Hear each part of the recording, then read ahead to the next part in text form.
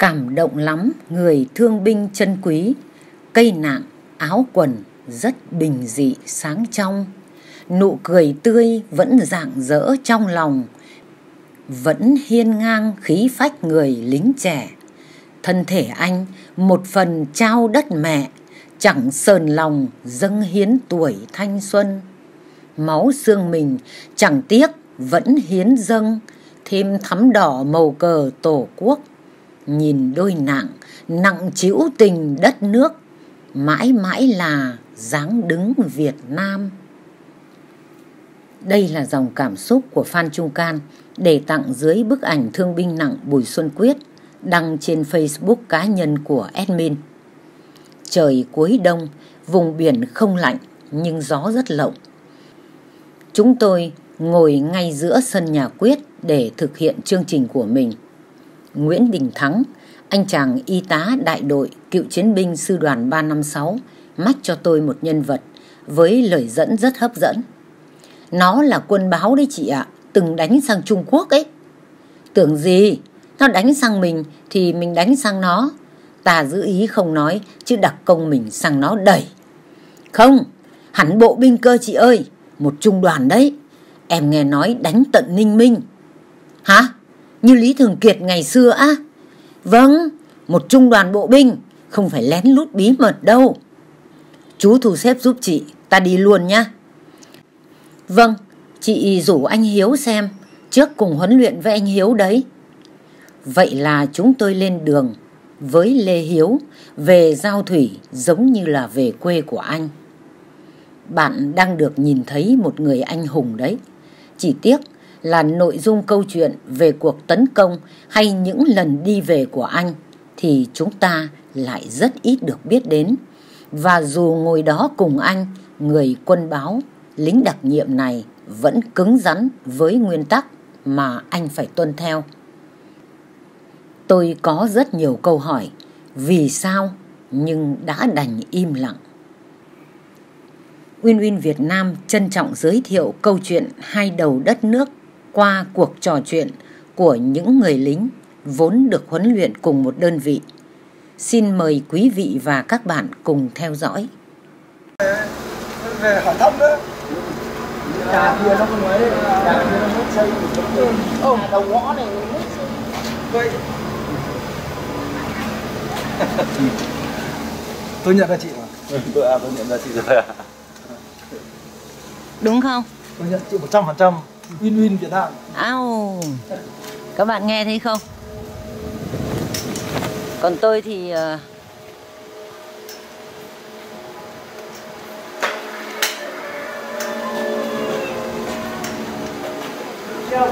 Cũng mình nhà thế? Đâu Đây là- đây là ngôi nhà nhỏ của người cựu chiến binh.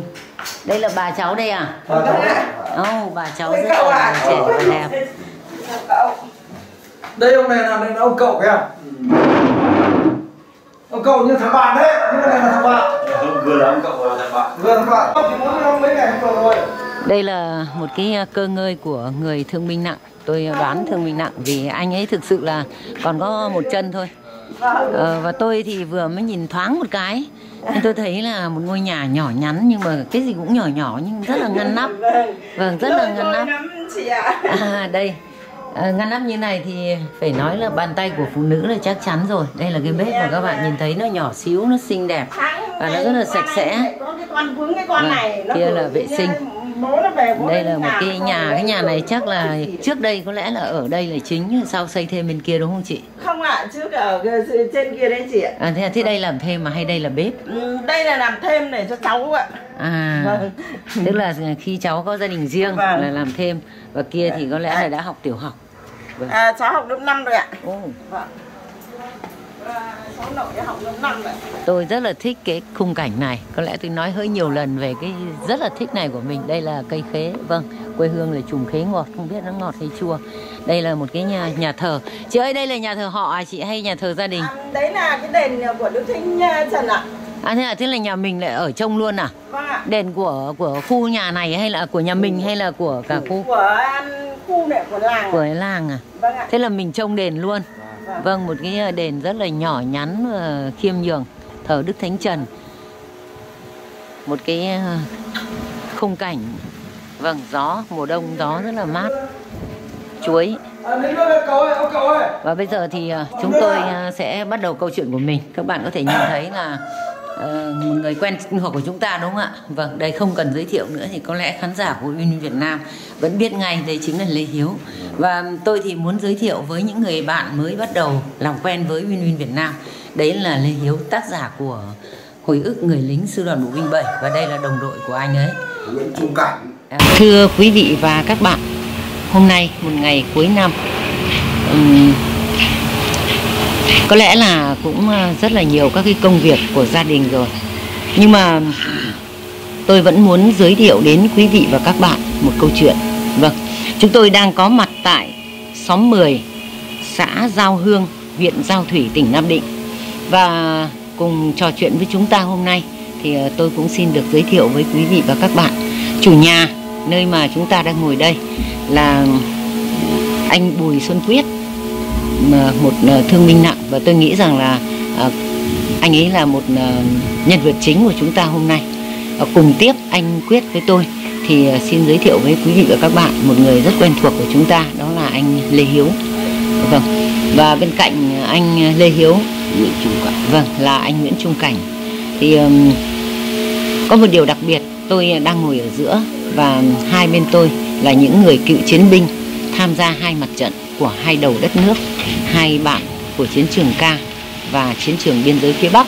Nhưng tại sao chúng tôi gặp nhau hôm nay ở đây?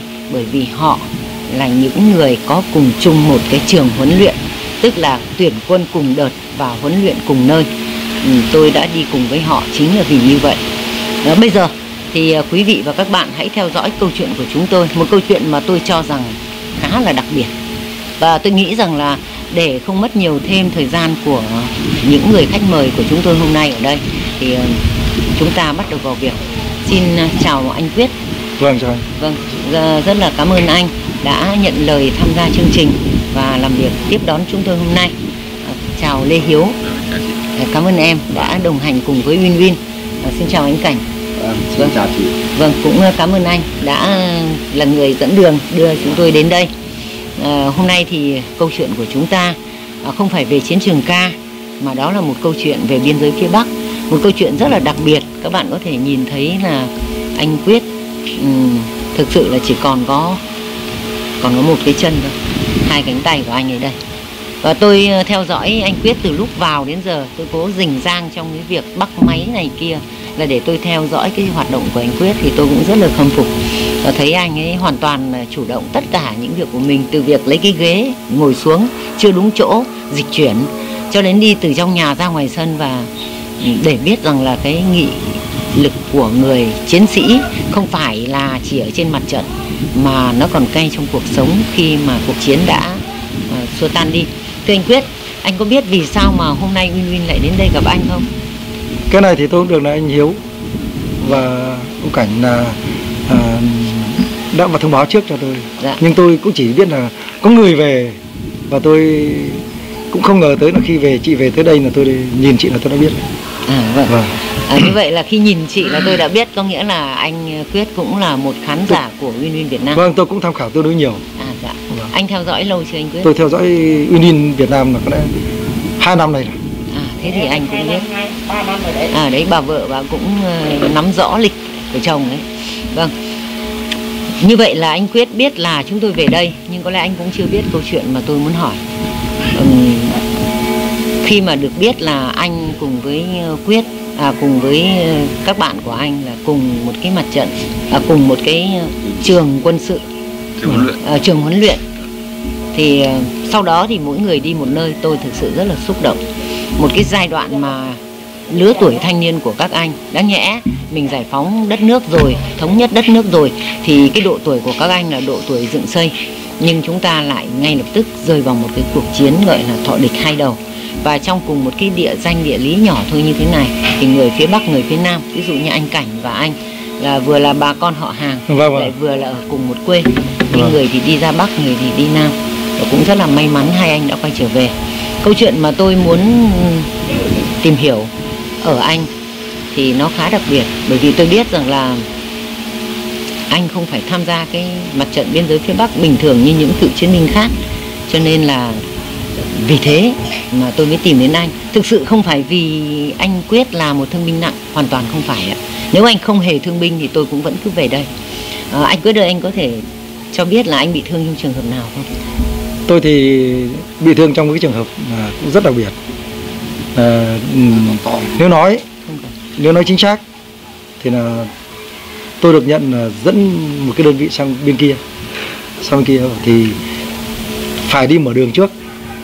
Khi mở đường thì để dẫn đơn vị bộ đơn vị đặc công sang thì đã đến 8 9 giờ rồi. 9 giờ sáng hay giờ 9 giờ sáng 9 giờ sáng. Thì tôi với tức là cái đường của mình là tôi làm xong rồi. Tôi mở xong đường rồi. Khi tôi quay lại thì một ông bạn tôi thì mặt ông cứ đỏ nên vì ông mới ở mới ở tuyến dưới lên thì tôi bảo chứ thôi nhượng người lùi về sau đi. Tôi nên à, tao nên tao làm cho. Thì tôi tháo quả được hai quả mìn. Đến quả mìn thứ ba thì tôi bảo tôi quay lại. Tôi quay tôi bảo chứ cái quả mìn này nó cài thế này thì tao mà cài thì chúng mày nhảy vào đây thì không có sống thì cũng chỉ có trột. Thì tôi, tôi quỳ xuống nhấc quả mìn lên mà cái tay trái thì cầm một quả mìn tay phải với quay đằng sau với rút con dao găm là để cắt cái dây cái dây của nó chẳng ở dưới. Thì rút cái thì cái con con dao găm nó vướng cái cái quai bao nó hất lên trên thì nó bay về phía trước. Thì thuận tay với bắt được cái đầu. Bắt được cán nó thì không bắt được bắt bắt được cái đầu. Thế là cái cán nó đập bốp phát vào trúng đầu kim mỏ à, thế là nó nổ. Thì cũng là quả mìn nó cho mình toi luôn. Đấy. Như vậy thì là cái như vậy có thể hiểu là ngay khi mở đường anh đã bị thương rồi và chuyển về tuyến sau rồi. Thế thì anh có biết gì về cái trận đánh đấy không? Chúng tôi không có đánh chúng tôi là không đi đánh nhau. Vâng. Đơn vị của tôi không phải đi đánh nhau. Vâng. Mà chỉ dẫn người đi về dẫn bộ đội đặc công sang dẫn người bên kia về. Đấy là nhiệm vụ của chúng tôi nó rõ thế này này.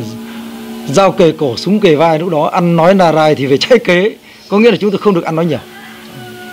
Cái đơn vị của tôi không phải đơn vị chiến đấu. Dạ. đấy. Thì chúng tôi chỉ có nhận nhiệm vụ là đưa người sang và đưa người về và nhiệm vụ thứ ba của chúng tôi là nhiệm vụ ám sát. Đấy là cái việc của chúng tôi. Cho nên tôi, khi tôi về đến đơn vị là bạn bè đồng đội của tôi ở cái như này là nên, lúc đó là nên đông. Chúng tôi chỉ là lính phối thuộc cho sư đoàn 338 chứ không phải là lính của 338 cho nên khi tôi bị thương 3 năm trời nằm viện viện quy 109 không nào, không ông nào đón tôi. Ngày lễ, ngày tết không ông nào non tới tôi nữa. Đúng đến ngày 21 tháng tháng 5 năm 81 thì vô tình tôi đã viết ừm, thư đăng báo toàn quân cơ mà. Thì ở đấy người ta chỉ yêu cầu là giờ đơn vị của đồng chí là đơn vị không phải là đơn vị bình thường mà đã thay đổi rất nhiều phiên hiệu đơn vị rồi. bây giờ đồng chí thông cảm là giờ chỉ có bệnh viện này là làm thủ tục giấy tờ cho đồng chí ra viện nhiều lúc tôi đã cảm thấy mình thế này rõ ràng mình là người lính nhưng cảm thấy tiêu cực. Tiêu cực là gì? Không giấy tờ. Vì tôi bị thương thì ông này đưa đi. Đơn vị ông này đưa đi chứ không phải là đơn vị mình chính quy của mình đưa, đưa đi đâu. Khi đưa đi rồi thì họ không quan tâm đến tôi nữa. Đấy có nghĩa là không giấy tờ không gì. Đấy thì khi tôi bị thừa tôi đến là tháng năm năm 81 tôi với đang tôi đi đang đi ngang qua cổng ông trung tá thì vẫn quen ông ấy mấy ngày trước rồi. Ông nên là trung đoàn trưởng của cái nữ đoàn nào đấy ông ấy về cái trung đoàn tăng ông ấy học lái xe tăng. Thì vào ông gọi quyết là vào uống nước. Thì tôi vào thì khi vào thì ông bảo chứ cháu bị thương ở đâu đây? Cháu bị tự thương nhưng mà bị thương nhưng mà tự bị thương. À, lúc được nó thật với chị là cũng có cái những cái tiêu cực bởi vì chị thấy ngày lễ ngày tết thì con em đơn vị nào người ta cũng về thì người ta thăm. Mỗi mình không ai thăm. Mình chỉ được mỗi thế này này mỗi bằng này ông thăm này. À, tổng cục hậu cần người ta xuống viện thì người ta phải, phải đến thăm mình là một. Hai là trên bộ quốc phòng xuống thì thăm vậy thôi những cái phái đoàn đấy không có giá trị. Thì người ta chỉ thăm qua rồi người ta đi mất rồi. Thế ngồi với nói chuyện thì ông ấy bảo là ngồi nói chuyện ra ông bảo gì mày nói rõ xem nào.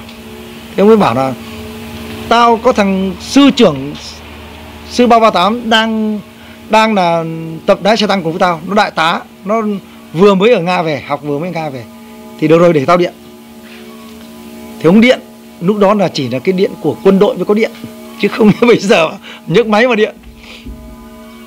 Thế là ông điện, thế hai ngày hôm sau, thì đúng ngày chủ nhật thì có một tay to tay kìa bệ vệ đi mặc quần áo dân sự nhưng lại có tay đeo khẩu AK văng gấp đi sau bảo, bảo vệ vào. Vào nó vào thẳng tuốt cái giường tôi ngay nó nằm à, đang ngồi. Vừa buổi sáng. Thì nó hỏi đồng chí phải đồng chí quyết không? Bảo vâng tôi đây. Tôi hỏi anh cần gì? Thế nó bảo là giới thiệu với đồng chí tôi là đại tá sư trưởng phi hùng vừa mới ở tôi vừa mới học ở nga về vừa vừa mới giữ chức sư trưởng. Và hiện nay đồng chí một trong hai mươi đồng chí mất tích của đơn vị đặc nhiệm. Khổ thân. Thì đồng chí xem xem là ở viện này còn ai không? Lúc đó cái lòng tự trọng nó cũng lên. Tôi bảo chứ đến mạng tôi mà còn chưa no được thì tôi biết là ai đây được. Thì ông bảo là lúc ông ấy nói là thôi đồng chí rất thông cảm cho đơn vị đây là đơn vị mình là một đơn vị đặc biệt đơn vị chiến đấu mà đơn vị đặc biệt cho nên là không thể có những cái phiên hiệu chính thức, cho nên không có đơn vị nào báo về về tuyến dưới, mà chỉ tuyến trên thì chỉ biết là 20 đồng chí hiện nay mất tích của đơn vị đặc biệt này. Là không có ai, giờ không không có ai quan tâm tới cái đơn vị này được nữa. Bây giờ con, bây giờ phải là làm sao mà tìm ra được số một trong 20 vị nữa. Mà thôi, vậy thì đồng chí yêu cầu đồng chí là ở đơn vị sở tại cho tôi lại giấy tờ. Chứ mong hứa là sau 5 ngày, tôi về sau 5 ngày toàn bộ thủ tục giấy tờ của đồng chí, tôi xin cấp trở lại cho đồng chí toàn bộ. Thế là sau 5 ngày đánh cho một cái xe dép lên, chở toàn bộ quân tư trang và giấy tờ hỏi, ông hỏi là có cần giấy tờ gì không phải chứ? Tôi chỉ cần đồng chí xác nhận tôi là người lính, tôi không phải kẻ tự thương, tôi là người lính bình thường vậy thì ông bảo chứ, vậy thì có những cái giấy tờ gì của đồng chí tôi đều, nước bình thường thì tôi cấp cho đồng chí đầy đủ. Nhưng đến ngày hôm nay nói thật với chị, chúng tôi là người lính. Khi trở về đây, trở về quê, còn rất nhiều cái bất công rất nhiều cái mà chúng tôi không nói ra được. Không có quyền, mình không quyền đòi hỏi. Nhưng mình cũng phải làm sao. Cũng qua cái chương trình của Uyên này, chúng tôi cũng yêu cầu đảng và nhà nước xem xét lại cho chúng tôi là những người lính, bảo vệ biên giới phía Bắc cũng như là lính ở Campuchia. Đều cống hiến như những người lính trong Mỹ. Không ai không ai là người, tức là không gian khổ. Không có một trận chiến nào không hy sinh, không mất mát. Thì đến trận chiến này chúng tôi cũng vậy. Chúng tôi cũng là người lính và thôi. Không khác gì. Thế nhưng người lính chống Mỹ thì được rất nhiều hưởng lợi, rất nhiều. Nhưng đối với chúng tôi thì có những cái không được hưởng lợi cái gì. Anh có thể ví dụ cụ thể tôi nói không? một ví dụ thôi. Như tôi bị thương thế này là tôi nhiễm chất độc hóa học đi khi tôi bị mìn nổ là nó gọi là sinh hoại thư sinh hơi. Là cái thuốc của nó là nhiễm vào máu. Tôi rửa toàn bộ máu. Giờ thực sự con cái tôi cũng không thể không thể bằng ai. Đấy bốn tôi sinh được bốn đứa cháu bốn đứa con. Nhưng mà thực sự các cháu cũng không thể nói chuyện là có cái đầu thông minh như người khác bình thường người, bình thường người khác được. Nói vậy chứ. Xương máu của chúng tôi là một vấn đề nhưng cái thế hệ sau là một vấn đề nữa. Nhưng ví dụ như ông này cũng đều là cống hiến cả. Chúng tôi không đòi hỏi cái gì hơn nhưng chúng tôi chỉ đòi hỏi là có công thì nhà nước thưởng có tội nhà nước phạt. Nhưng cái công cái tội đó giờ hầu như là nó có cái gì đấy nó không phân, nó chưa phân minh rõ ràng. Không anh vẫn anh nói tức là bây giờ là mình đang có cái theo anh nói mà tôi hiểu được ấy là anh nói về cái ờ, phân biệt giữa cái thời Họ chống- đang phân biệt. chống Mỹ vâng. và cái hai cái cuộc chiến tranh biên giới. Thì tôi muốn anh cụ thể là có cái sự phân biệt gì. Ví dụ như anh nói về chất độc da cam thì ờ, mình vừa nghe rồi. Giả sử như là hồi Mỹ thì là bộ đội Trường Sơn thì có những cái vùng mà bị nhiễm chất độc da cam thế còn mình ở đây thì không không có cái cái cái không có cái, cái tiêu chí đấy ở trong cái thương binh đúng không? Vâng. mìn thì theo anh mìn là cũng là bị nhiễm chất độc. Vâng. Vâng đấy thì cũng là một loại. Còn ngoài ra còn những cái gì nữa? Đấy là một việc ạ. vâng. Tôi chỉ cần nói thế này này.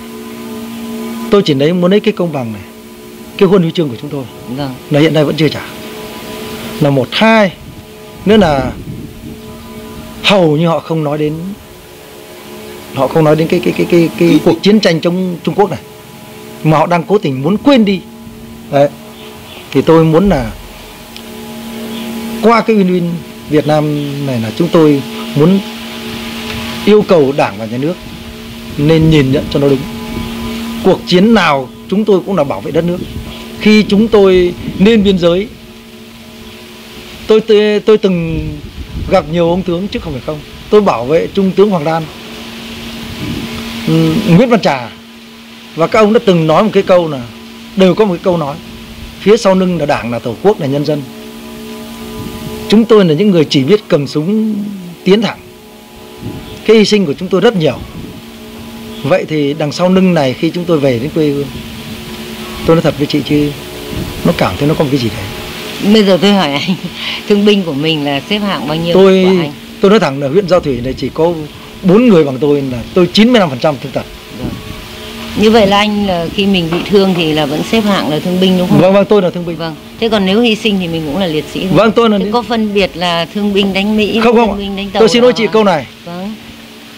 Tôi không nói đến cái thương binh. Vâng thế thì ý nhưng tôi anh- chỉ mong muốn là họ đang dập đi cái cái chiến tích. cái chiến tích của chúng tôi Biên ở giới. biên giới. Họ không dám nói đến đây cũng là một vấn đề đấy ạ. Họ không dám nói đến. Bây giờ mình quay Họ- lại câu chuyện mà Vâng. tôi đang muốn ờ, tức là nãy giờ là tôi bị anh Quyết dẫn đi đấy các bạn. Và đấy cũng là một cái câu chuyện nó cũng là một cái vấn đề đấy. Nhiều khi mà cũng có những cái mà nói ra nhiều khi nó lại không hay bằng là không nói ra. Đấy nhưng thôi bây giờ quay lại câu chuyện. Như vậy là khi anh sang là đang trên đường dẫn quân sang thì anh bị thương. Chúng tôi là mở đường đã. Vâng mở chúng, đường. chúng tôi à, mới còn mở nhiệm vụ đường nhiệm vụ của chúng tôi là sang rất chúng tôi sang là đi về rất nhiều lần rồi À vâng, thế trong những cái lần tức là anh đã đi và về nhiều lần, Vâng. còn bị thương là bị thương cái lần một lần mở đường, vâng một trong những lần. vâng Vâng, thì ờ, trong những cái lần mà anh đi sang và đi về rất nhiều lần mà anh kể đấy, có lần nào làm anh nhớ nhất? có chứ Vâng, anh kể. có lần nó, tôi được cái nhận cái nhiệm vụ là ừm, sang dạ, đi giám sát đường biên để chuẩn bị sáng hôm sau là cho anh em vượt biên Chứ còn là thời đó còn là vượt tuyến. Thì tôi vào đồn công an tôi chơi bóng. Tôi vào đồn công an tôi chơi bóng. Tôi chơi bóng đến 5 giờ tôi mới đi. Tôi dẫn theo hai đồng chí nữa đi. Nhưng một vị hiện nay là chết rồi về quê về quê cũng chết rồi. Còn vị ở hà nội là tôi không gặp lại nữa. Đấy. có thể nhắn trước là anh nhắn tên, nhắn tin thì người ta sẽ tìm. thế thì nên thì tôi lại cầm khẩu AK tôi cầm hộ.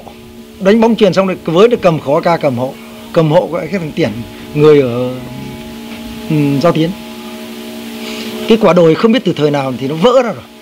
Thì nó cứ men theo đấy là nó lên cái cột mốc 54 thì chúng tôi là người cũng là người bảo vệ cái cột mốc đó từ xưa từ ngày lên đến sau này chúng tôi vẫn phải vẫn phải nằm đấy.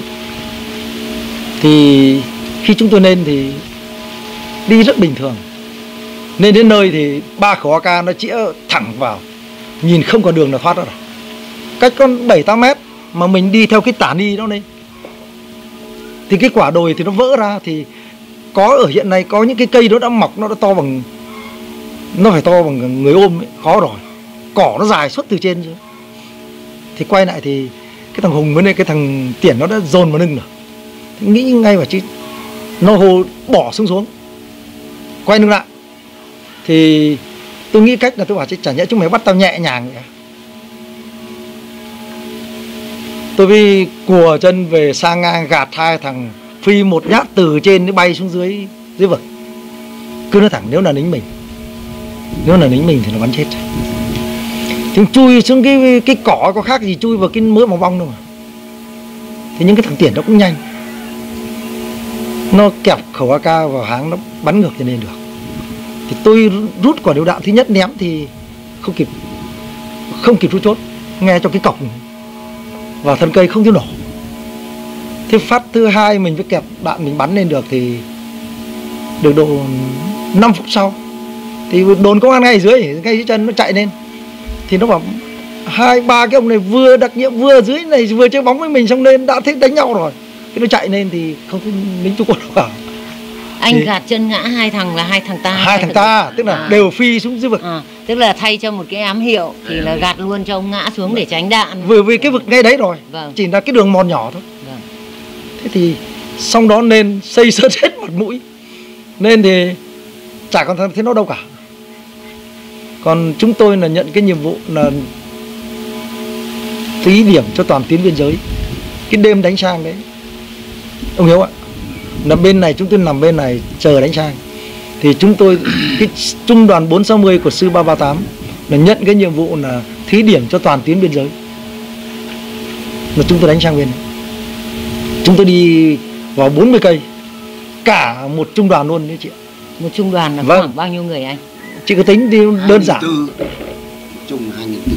Tóm lại là trên dưới hai nghìn. hai nghìn tư. Trung đoàn tôi không có. Trung đoàn sau này mình chỉ có đâu ra 800 quân. thôi. Thực sự chị Hà Nội Đủ 2000. quân phía Bắc lúc đó không có quân. Cứ nói thẳng nếu mà tôi là người nhìn nhận về cái chiến chiến dịch toàn tuyến phía Bắc tôi phải nhìn nhận lại rõ lính Trung Quốc không phải lính chiến đấu chỉ là một lũ ô hợp thôi. Nói thẳng bởi vì chúng nó chỉ cậy quá đông bảy thằng lính của đơn vị tôi mà đánh nó đánh bảy từ 5 giờ sáng nó đánh rồi đến 3 giờ chiều mới mất chốt mà nó, thằng Trung Quốc nó nên ít nhất của nó nên là phải là từ hai tiểu đoàn trở lên. Đấy, cứ tiểu đoàn của ông kia lên đánh gần gần nhược thì xuống cho này lên. Thì bây giờ có 7 thằng mà kèn cựa với lại hai tiểu đoàn thì chịu bảo làm sao mà không mất?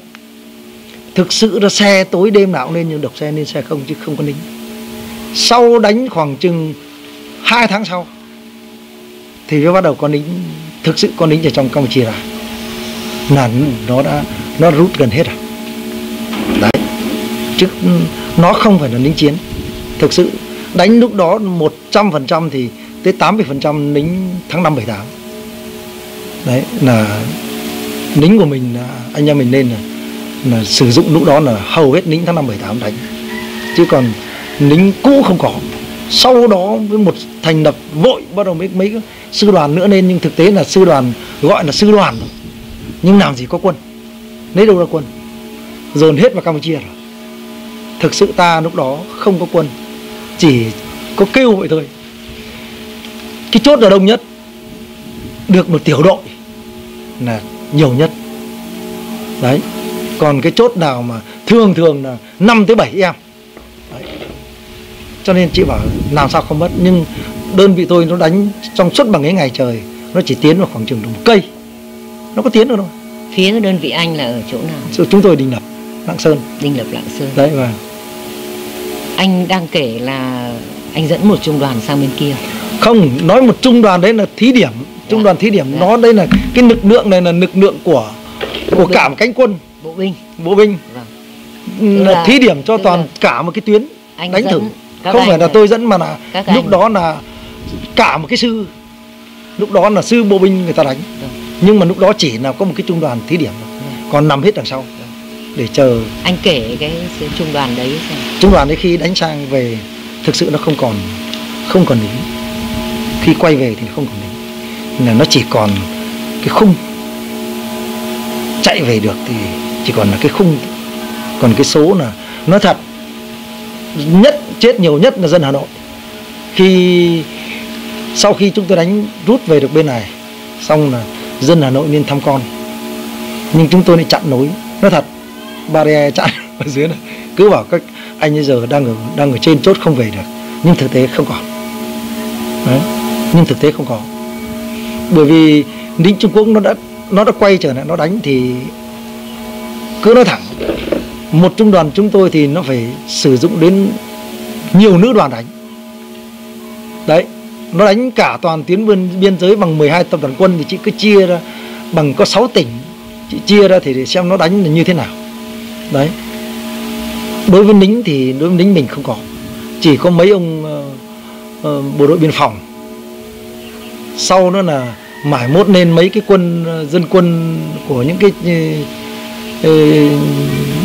những những cái nông trường người ta lên. Người ta đỡ thì chứ còn không. Thực sự quân của mình sau đó hai tháng sau với ở Campuchia bắt đầu với miền Nam bắt đầu với đục đục kéo ra nhưng thực tế các vị lúc đó lên thì nó thấy vậy là nó rút là mình không phải đánh rồi lúc đó rút là mình không phải. Tôi vẫn muốn biết cái trung đoàn của mình ấy sang thì là đánh ở đâu và cái kết quả như thế nào? Chúng tôi đánh sang đấy là sang bản tát và là từ đình lập đánh sang. Đấy. Đình lập là của mình? Của mình. Vâng. bản tát thì là bản tát tát là của nó và chúng tôi nằm ở cột mốc 54 đấy. Chúng tôi là nằm ở trục đường 13 trực thuộc cột mốc 54 đấy biên giới Trung Quốc Việt Nam. Cái trận đánh đấy thì mình sang đánh đấy cái mục tiêu là như nào anh mục biết tiêu không? là đánh thí điểm. Bằng thí điểm nhưng mà cái ví dụ như sang đấy là đánh vào cái điểm đấy nó là một cái gì ở bên đấy? Không ạ. Chúng tôi lúc đó cái cái bên đấy thì còn nhiều người khác người ta biết chứ còn đây là nhiệm vụ đặc biệt chị cứ thông cảm, đây nó là cái nhiệm vụ đặc biệt thì mình chỉ, tôi chỉ biết chị và chị biết ông kia, chứ không phải là ai cũng được biết mọi việc. Nhưng đánh xã, đánh là, đánh để kiểm chứng cái lực lượng của nó đến đâu. Đấy, chấp nhận hy, còn là chúng tôi là thí điểm mà bọn thí quân. Hy sinh hy sinh để cho các tuyến để kiểm kiểm nghiệm. Ý đồ nếu thắng thì lại đánh cái chiến thuật vu hồi về Lạng Sơn, vây bọc đít và cái trung đoàn của sư ba quay trở lại đánh. Là vơ một vẻ nhưng mà nó cho lính dù nó nhảy nhảy dù nó chặn lại mình không sang được nữa là trên là cho rút nhưng thực tế không rút được. Bao nhiêu? Đấy. Có đánh được không anh? Đánh được. Đánh được nhưng không về được. Đánh được nhưng khi nó phản công nó dùng lực lượng mạnh nó phản công thì một trung đoàn trị tha nỗi. Nói là một trung đoàn cho nó oai nhưng thực tế tôi mới nói với chị còn nãy làm gì có quân. Nói thật nếu trung đoàn của tôi lúc đó chỉ bằng hai tiểu đoàn hai tiểu đoàn đủ. Đấy. Nhưng mà mình đi sang như thế là cũng cũng là táo bạo đấy chứ anh nhỉ? Bởi Nó không- vì ờ, nó không phải là táo bạo. đông như thế thì phải hành quân. À không đánh đánh hành tiến. Người ta là đánh hành tiến Đánh chứ hành không phải tiến. là đây là thực sự ra mặt đánh dùng bộ binh để đánh. Vâng. chứ không phải là ừ, cái kiểu có con như chúng tôi. Không kiểu là mật tập. Vâng đánh hành tiến đánh hành tiến mình để thí điểm xem là cái cái, cái phản gọi ứng của thăm nó dò thăm dò. đánh phản ứng nó đến đâu. Vâng. thăm dò phản Đấy. ứng cái ngày đấy là nó là cái thời gian nào rồi anh? Ngay đêm hôm mùng à, 17 tháng 2 nó đánh sang thì 19 là chúng tôi phản công. À, đơn vị 19 là chúng tôi phản công đánh sang luôn. tôi hiểu như này có phải không 17 tháng 2 thì nó đánh ở phía Lạng Sơn. Toàn tuyến nó đánh toàn vâng đánh toàn tuyến nhưng mà cái nơi mình sang thì không phải là cái nơi nó không sang. ạ nó sang rồi. À, nó sang mình rồi. phản công lại tức là phản công để đánh phản công thì mình đẩy nó về à? Vâng đẩy về. Đẩy về và đẩy sâu luôn vào đẩy trong. sâu luôn. Chúng tôi đã còn là gọi là toàn tuyến thì chúng tôi thí điểm cho toàn tuyến biên giới mà. À, tức là tôi hiểu như thế này có phải không? Sang ngày từ ngày 17 là nó đánh sang. nó đánh sang. Đêm 17 và 17 18 sang đến ngày 19, 19 thì cái mình- chỗ đấy là mình phản công. Đấy đấy Mình phản công là không những là để không những đánh cái lực lượng nó đánh sang mình không phải chỉ có đẩy nó về biên giới mà còn tiến sâu vào trong đất nó. Vâng. vâng. Anh có biết là vào sâu được bao lâu? 40 cây. 40 cây. Có nghĩa là đẩy lùi được cái mũi đấy. Nếu đánh nữa vâng. thì thực sự nó không còn quân. Vâng. Ta không có quân cho nên phải rút. Đấy nó là như vậy. Chứ còn thực sự ra mà nói thì lính Trung Quốc không phải là lính chiến chúng tôi đánh vào đến mức độ nó nặn thuốc đánh răng đã 4 giờ sáng chúng tôi đánh vào nó nặn thuốc đánh răng mà. nó để hết nó chạy. Tức là không kịp đánh răng. Không kịp đánh cả đánh răng. Xe nổ máy ô tô nổ máy rồi nhưng nó bỏ đi nó chạy chạy bộ. Nhưng có một cái này. Cái chiến tranh biên giới phía bắc nó nghiệt ngã cho cả hai bên. Thứ nhất là đồi núi cao độc lập.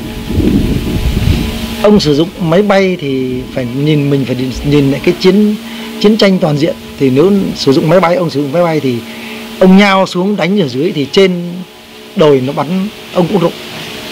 Mà ông sử dụng xe tăng thì đường độc đạo, độ dốc cao. Độ dốc trên trên tăng chỉ cho phép độ 45 độ thì tăng còn có thể tiến hành được. Nhưng mà tăng mà đã được nó còn 9 10 độ dốc như thế này thì còn đến đâu nữa? Thì thì đến đâu ra mà bà bò chỉ có lật ngửa thôi nếu ông sử dụng xe tăng thì ông loạn thì không có giá trị. Cho nên là ngay kể cả đến mình cũng vậy. Mình chỉ phục. Tấn công phục thế chứ còn thì không không không đánh tấn công kiểu hành tiến. Như nó đánh sang, nó đánh sang mình, nó thất bại cũng là ở cái điểm đấy. Bởi vì sư ba là cái sư anh hùng, thời chống mỹ. Thế mà lính trung quốc cấp ừ, chạy thì tăng chạy vào chán thì chưa thấy lính đâu. Đấy cho nên là nó khó khó như vậy. Mình Vâng. không không không đánh tổng lực được. Cái đó không thể dùng cái lực Không phải. động cái địa địa hình. được. địa hình cái địa hình nó là một cái lớn. Cái địa nhưng, hình là quan nhưng trọng. sau nó là một cái việc này. Nhưng sau nó cái việc này. Thực sự lúc đó ta phải nói là toàn tuyến của ta không có quân. Tức là hỏa lực mạnh không có. Không hề có gì. Nó bắn hàng nghìn quả đạn. Thì mình mới được năm bảy quả. Có đạn đâu mà bắn đấy, nhưng có một cái, có một cái thế này này.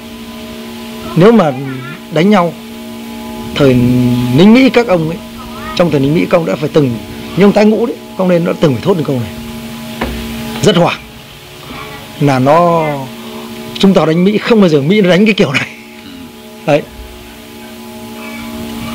H12 nó đảo nên bây giờ nó đảo cái này lên sới lên, xong tí nữa nó đảo lại. Chỉ 10 năm 20 phút sau nó đảo lại có thể là gieo rau được.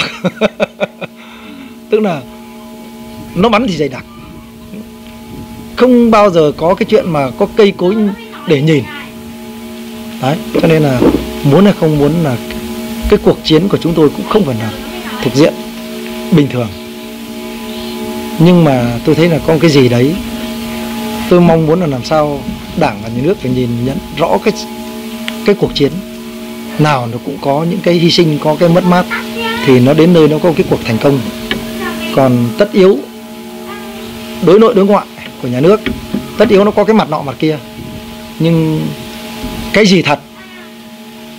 Ta phải tìm thấy cái sự thật. Ta phải tìm thấy cái thật cơ. Để đảm bảo cho chúng tôi là người lính. Bây giờ cũng quá cái sườn dốc bên kia rồi. Nhìn nhận thấy một việc nó nó nó thật hơn chứ không không để nó cứ có cái cái gì đấy, nó cứ bê bít như tôi vừa mới xem cái vụ cách đây mấy ngày Hải Phòng ừ, một cái con Trung Quốc mà nó dám xé cờ. Việt Nam nó vứt vào thùng rác ở một cái công ty. Thì tôi thấy đấy, có một cái gì đấy nó đằng sau. Nó không thoải mái đối với những người lính chúng tôi đã từng cầm súng để bảo vệ cái đất nước này. Thế này nhá, anh quyết anh cũng biết đấy là một cuộc chiến rất là khốc liệt đúng không? Vâng. Và nó cũng mang lại những cái điều mà cả hai bên đều không mong muốn. Và những người lính là những người mà gian khổ mất mát nhiều nhất. Và bây giờ thì chế độ chính sách đại chế độ đãi ngộ của nhà nước thì nó theo theo chính sách rồi đúng không? Như là tôi vừa hỏi và anh cũng vừa trả lời đấy tức là đánh mỹ bị thương cũng là thương binh mà đánh tàu hay đánh campuchia bị thương cũng là thương binh. Chứ không không phải là ca, thương binh 2 trên 1 à, 2 trên 4 của ông Mỹ thì được à, nhiều tiền hơn ông 2 trên 4 Campuchia. Thì không phải như vậy đúng không? Mà nó cùng là thương binh không ai phân biệt là thương binh thời nào. Cùng là liệt sĩ cũng không phân biệt là liệt sĩ nào. Chế độ đãi ngộ như nhau. Nhưng điều mà anh nói ở đây thì tôi nghĩ là cũng là cái điều mà của rất nhiều các cựu chiến binh mà tôi từng tiếp xúc. Đó là muốn có một cái ờ, một cái mặt về truyền thông ấy, để nói đến và nhắc nhớ về cái cuộc chiến. Vâng vâng. Đúng là như thế Đấy, vâng. Các bạn thấy không? Cả ba người đều đúng đúng là như thế. Nhưng ở đây thì tôi lại như thế này. Tôi là một phụ nữ tôi không tham gia trận chiến, nhưng chồng tôi là người tham gia mặt trận phía bắc. Và tôi cũng đã từng có những cái thời gian mà chỉ biết tình hình của chồng mình qua tình hình trên đài. Tôi hiểu người trong chiến tranh nó như thế nào. Và con trai tôi bây giờ cũng đang trong quân đội. Thì những người dân như chúng ta, các anh là những người đã từng nằm ở trên, gọi là, không phải nếm mật, nằm gai nữa, mà là dơ lưng chịu pháo, mà đưa ưỡn ngực để chịu đạn nhọn thì là những người hơn ai hết, không muốn chiến tranh. Thì tôi nghĩ rằng là chỉ một vài lời mình nói gọi là để cho sướng cái miệng mình, sướng cái tai mình về truyền thông ấy mà, thì nó có thể là có lợi, nó giải tỏa được cho mình, nhưng cũng có thể là nó không hẳn đã là có lợi. Và câu chuyện của mình về hai cuộc chiến tranh đấy thì với với một cái tâm lý như vậy của các cựu chiến binh thì rất dễ bị một cái loại kích động để người ta chia rẽ cái cựu chiến binh với chính quyền. Và người ta dẫn dụ để đi đến một cái một cái gọi là bất bình ấy, bất bình.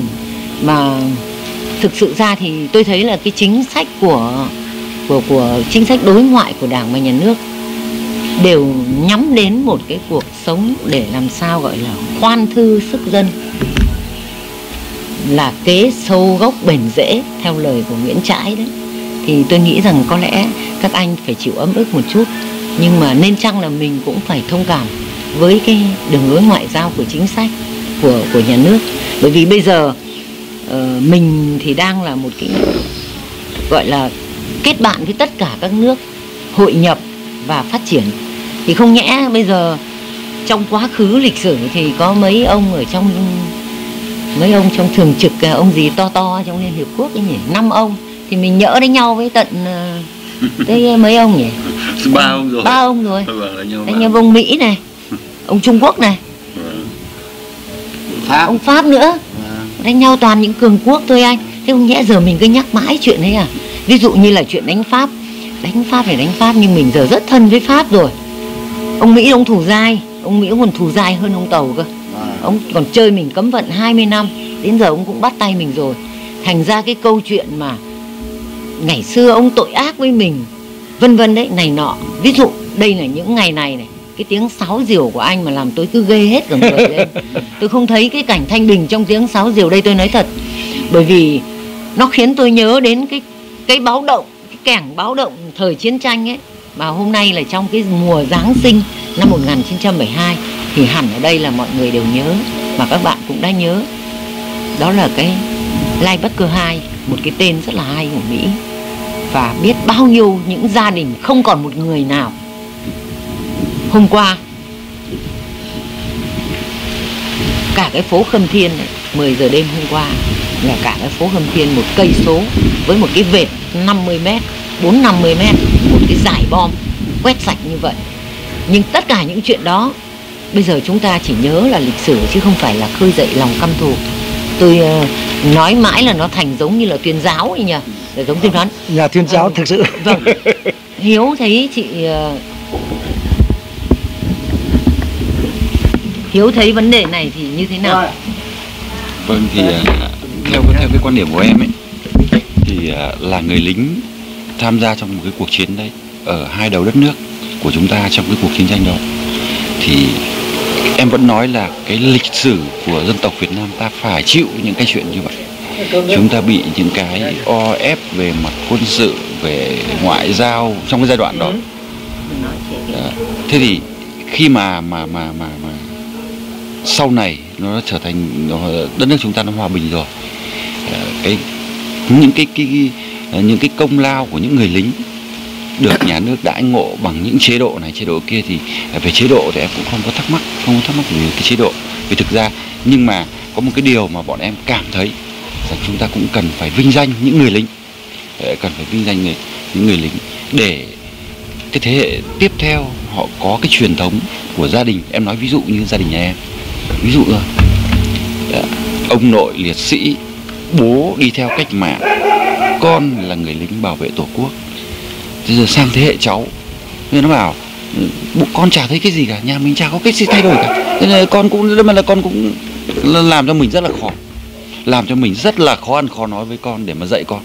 Ít nhất thì cũng nhắc nhở đến à ừ, những người lính ờ, ờ, quân tình nguyện Việt Nam bảo vệ tổ quốc trong cái giai đoạn như thế như thế thì con cái mình nó mới có cái để nó tự hào. Đúng vậy à, tôi chỉ cần nhắc đến nó thôi thì nó cũng cảm thấy nó tự hào à, đấy thì, thì em thì em nghĩ là à, các bạn của em họ cũng cùng chung cái cảm nghĩ đó với em. Chứ còn ví dụ như là ờ, cái chuyện mà chính sách chế độ thì như chị nói nó có cái của nhà nước rồi. Đại ngộ nó gồm có à, cụ thể là là cái gì đó. Thì ai ở cái giai đoạn nào thì người đó được hưởng cái phần đó. Ví, ví dụ như em là người không được hưởng em cũng vui vẻ. Cũng, cũng vui vẻ chứ không có đặt nó vào cái gì là quá lớn. Nhưng cái gì cái công sức của người ta thì nên ghi nhận có thể là uh, bằng uh, cái sự động viên bằng lời nói uh, ví dụ như những cái ngày mùng 7 tháng riêng chúng ta nhắc đến uh, những người lính bảo vệ tổ quốc những ngày mùng 7 tháng riêng đấy những người lính uh, làm nghĩa vụ quốc tế nên nhắc. Hoặc là 17 tháng 2 nên chúng ta không khơi dậy cái cuộc chiến tranh đó và để rồi khơi dậy cái lòng hận thù. Nhưng vinh danh những người lính đã bảo vệ tổ quốc vào ngày 17 tháng 2 thế thôi người ta cũng chỉ cần như vậy và những người lính em nghĩ còn lại đến ngày hôm nay thì họ cũng chỉ mong điều đó thôi chứ họ cũng không không không, không mong gì hơn đâu ạ. Đấy quan điểm của em trong chuyện đó. rất là cảm ơn Lê Hiếu. Vâng. không phải là khơi dậy lòng căm hờn. Không không nên khơi dậy lòng căm thù. Không phải là khơi dậy lòng căm thù mà ở đây là mà ở đây là một cái sự vinh danh. Vinh danh thôi. Vâng, Vâng. tức là tôi cũng nghĩ rằng là với ờ, hơn 40 năm đã trôi qua rồi thì ờ, một số vấn đề đã được bạch hóa đúng không anh? Tức là hơn 40 năm trôi qua rồi thì có một số điều mà trước đây ta không nói thì bây giờ cũng có thể nói được rồi. Nhưng mà người châu Á thì nó cũng khác người châu Âu. Cũng có những cái mà mình cũng không muốn nói ra. Và là một nước đất không rộng lắm, người không đông lắm. Ở những hàng xóm của mình thì ba bề bốn bên đều phải toan lo che chắn. Cho nên là tôi còn nhớ là có một cái cuốn hồi ký của một cái người quân báo. Gọi là quân báo hay là điệp viên gì đấy, của thời Mỹ cơ thì khi mà ông ấy viết hồi ký thì ờ, lãnh đạo, tôi không nhớ tên nhưng đó là một người cấp bậc chức vụ rất cao. Có nói có bút phê vào đấy là còn giữ nước, còn phải bí mật cho nên tôi cũng ờ, chia sẻ với anh Quyết là câu chuyện đặc nhiệm của anh. Chúng ta cũng không khai thác thêm và cũng ờ, coi như đó là một cái thứ vũ khí bí mật của dân tộc. Phải không anh? À, có lẽ là quân đội người ta cũng sẽ bảo tồn chứ không bảo không bao giờ thất lạc được.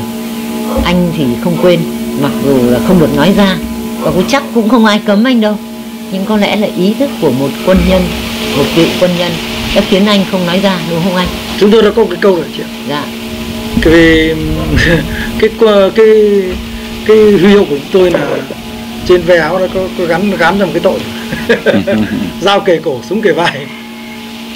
Tuyệt đối không được nói cái gì mình chưa được biết. Tức là nói thẳng mình biết cái gì chỉ biết đến vậy biết là biết mình không biết tới ông kia ông kia. Đấy là việc, không phải việc của người ta. Mình không tiếp xúc.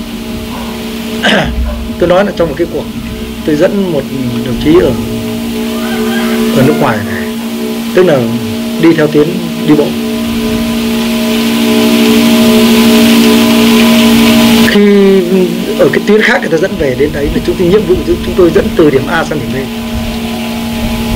Thì dẫn ông ngồi ông đi ông ngồi mình là người trực tiếp bảo vệ. Nhưng mà khi đến đây định là lấy đồ cho ông mặc, định là đưa cho ông ông chỉ thẳng cho là để đấy tức là không việc của anh. Đi chỗ khác. Nhưng ông mặc sao ông thay đồ xong ông đi lại góc kia ông ngồi chứ không nói gì. Thế khi ông đại trưởng tôi ông đi đưa về đến biên giới, đưa lên xe là đại trưởng mới được quyền đưa đưa lên xe tôi mới bắt đầu. Nói bảo chị Hà Nội lính mà lúc đó lính mà. nói câu cha nào mà gắt đi là mày muốn vỡ mồm. Đấy. Chúng tôi chỉ biết đến vậy. Mà đơn vị tôi hầu như là ngay đồng đội của tôi tôi không được biết mặt bằng. Cả đơn vị nhưng tổ tôi về thì tổ kia đi mất rồi. Tổ của ông kia về thì tổ ông kia đi mất rồi. Có khi mình về mình làm ăn chơi đấy nhưng mà không có người. Có người đâu mà. Thì tôi này có một cái, tôi có một cái lợi thế lớn là thế này. Khi tôi về phối thuộc thì đáng ra là tôi nó đuổi đi. Thấy có đồng hương ở mấy cái đơn vị của trung đoàn 460 này, cứ nằm để ăn bám. Cái tiểu đoàn một, khi tôi nằm nhiều quá mà, tôi tôi có một cái giấy là vay vay của các tiểu đoàn để ăn. Vì mình đi nằm có vài ba tháng mà. Cứ vay chị thằng lúc thì lính đói. Lính có được như bây giờ đâu mà. Lính lính đói. Cứ vay bừa. Vay xong đưa vào bàn. Kiếm cái khác ăn kiếm rượu uống. Thế cái về sau là xuống đến trung đoàn thằng trung đoàn trưởng nó dí súng vào đầu nó bảo mày may mà chiến tranh tao trừ đi to chứ. Mày mà thơ, lính thường thời thường thì mày ra tòa án binh cháu à, em ạ và sao đấy mày vay của trung đoàn tao bao nhiêu gạo bao nhiêu thịt mày biết không?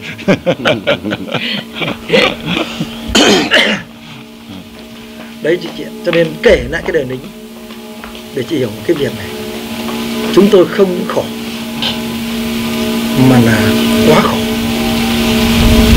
Gian khổ.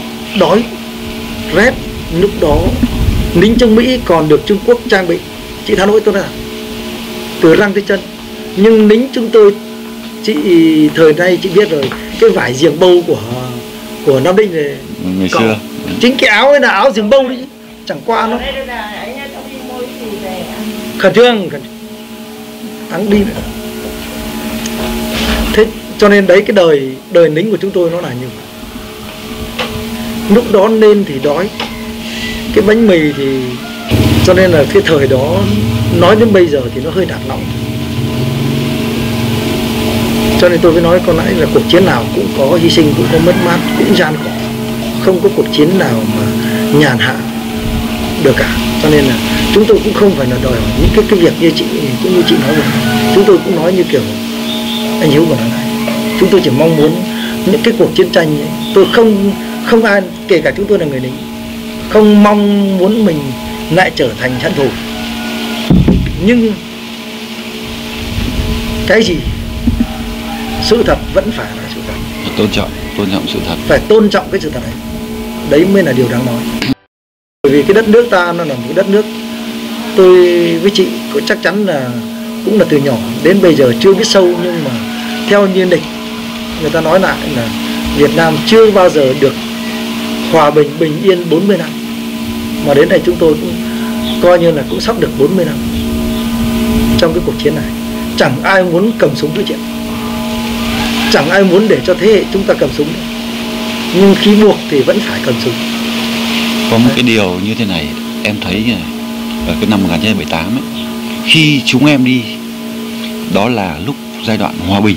Mình phải nói với nhau đúng như thế. Anh em mình lúc giờ đi là hòa bình đúng không ạ? À, rất là vui vẻ và cũng cứ nghĩ rằng là chúng ta uh, chiến tranh qua rồi chúng ta chỉ là những người lính làm kinh tế xây dựng đất nước làm nghĩa vụ quân sự thôi và khi đùng một cái cuộc chiến nó xảy ra ở cả hai đầu đất nước. Và cái đơn vị của bọn em lúc bây giờ là đơn vị huấn luyện cũng tương đối tốt. Sau này em tìm hiểu thì mới biết cái trung đoàn 584 của bọn em ấy, lúc bây giờ đấy là cái đơn vị huấn luyện đứng thứ hai của quân đội nhân dân Việt Nam. Lúc bây giờ mình mới sau này mới biết chứ lúc bây giờ cũng không biết đâu. Thua mỗi đứng đầu là sư 308 về huấn luyện sau đó là là đến trung đoàn 584 của quân 3 mà hiện nay nó vẫn còn. Vâng, thì anh em mình lại là rất là may mắn là chúng ta được huấn luyện vào trong cái giai đoạn đó. Đâm ra là khi à, đơn vị bọn em chuyển quân đi thì có một số anh em được ở lại. Thì trong đó là có Quyết là được ở lại. Và bọn em thì là đi phía Nam, em với Cảnh và một số anh em nữa là đi phía Nam. Đi phía Nam thì à, cũng nhờ có cái giai đoạn được huấn luyện như vậy. Và khi bọn em lăn lóc vào cái cuộc chiến đó, trở vào thì thường thường là những người lính chiến đấu khá tinh nhuệ, khá tinh nhuệ đấy thế thì đâm ra là cái cái kinh nghiệm về sau này để tồn tại và trở về thôi chứ cũng, cũng chẳng dám nói rằng cái gì nó nó quá cả. Nói như vậy để thấy rằng là là người lính của chúng ta rất thiện chiến rất thiện chiến. Nên kể cả ngay bây giờ sau rất là nhiều năm rồi thì, ờ, có có lẽ như bạn quyết hoặc bạn cảnh hoặc em sẽ không quên được cái cái cái, cái kinh nghiệm chiến đấu đâu. Kinh nghiệm nó cũng Kỹ năng. vâng cái kỹ năng chiến đấu. Thậm chí nó trở thành phản xạ tự nhiên luôn phản xạ tự nhiên. Tức là chỉ cần nhắc một cái là thấy bóng một cái là có thể là bọn em đã đã lăn ra rồi và súng đã mở an toàn rồi, đã tư thế chiến đấu rồi. Chỉ cần trong một giây, hai giây thôi. Rất là nhanh. Ờ, cái phản xạ đấy nó nó nó luyện đến mức như vậy nhanh đến mức như vậy. Thế thì ờ, muốn nói là trong cái cái cuộc chiến người lính Việt Nam chúng ta rất tinh nhuệ trong chiến đấu. Ờ, rất tinh nhuệ trong chiến đấu. Cho nên là chúng ta cũng chẳng sợ kẻ thù nào đâu. Thế nhưng mà người dân Việt Nam chúng ta là cái Ờ, dân tộc yêu chuộng hòa bình. Ờ, là người lính cầm súng chiến đấu thật đấy nhưng bọn em cũng rất mong đất nước hòa bình. Ờ, ở Campuchia như em có nói ở trong cái ký ức đấy, khi mà đánh nốt trận này thôi giải phóng âm len thông tin từ trên đưa xuống nốt âm len rồi căn cứ cuối cùng rồi là chúng ta kết thúc kết thúc chiến tranh. Mừng lắm. Khi nghe sư sư đoàn 9 họ và và trung đoàn 141 giải phóng ở trong ở bên trong hay là bên ngoài này hoan hô ở Mỹ bên này bọn em giải phóng xong rồi âm leng rồi nó hô Mỹ hòa bình rồi chúng ta được trở về rồi sống rồi. Chúng ta được trở về uh, với gia đình được về đi học đi hành rồi là này nọ. Chứ còn không nghĩ là chiến tranh nữa. Thì đùng một cái nó xảy ra cái chiến tranh ở phía bắc. Đến lúc bây giờ đã chiến tranh phía bắc xảy ra rồi thì đã, lại bắt đầu lại chất lên cái cái chiến tranh ở phía bắc. Và cũng không ngờ rằng là bọn tôi là ở biên giới phía tây nam lúc bây giờ cũng không ngờ hoàn toàn không ngờ rằng là cái cuộc chiến tranh đó nó nó kéo dài như vậy vì báo chí vẫn nói là địch rút rồi. Ờ, ờ, về bên kia biên giới rồi. Thì cũng nghĩ là ở bên biên giới phía bắc bây giờ là ta một bên nó một bên. Thế là, là mẹ mày mà qua là tao nện mày. Ờ, chứ đâu có nghĩ rằng là nó nó nó như thế này đâu nó Để vâng.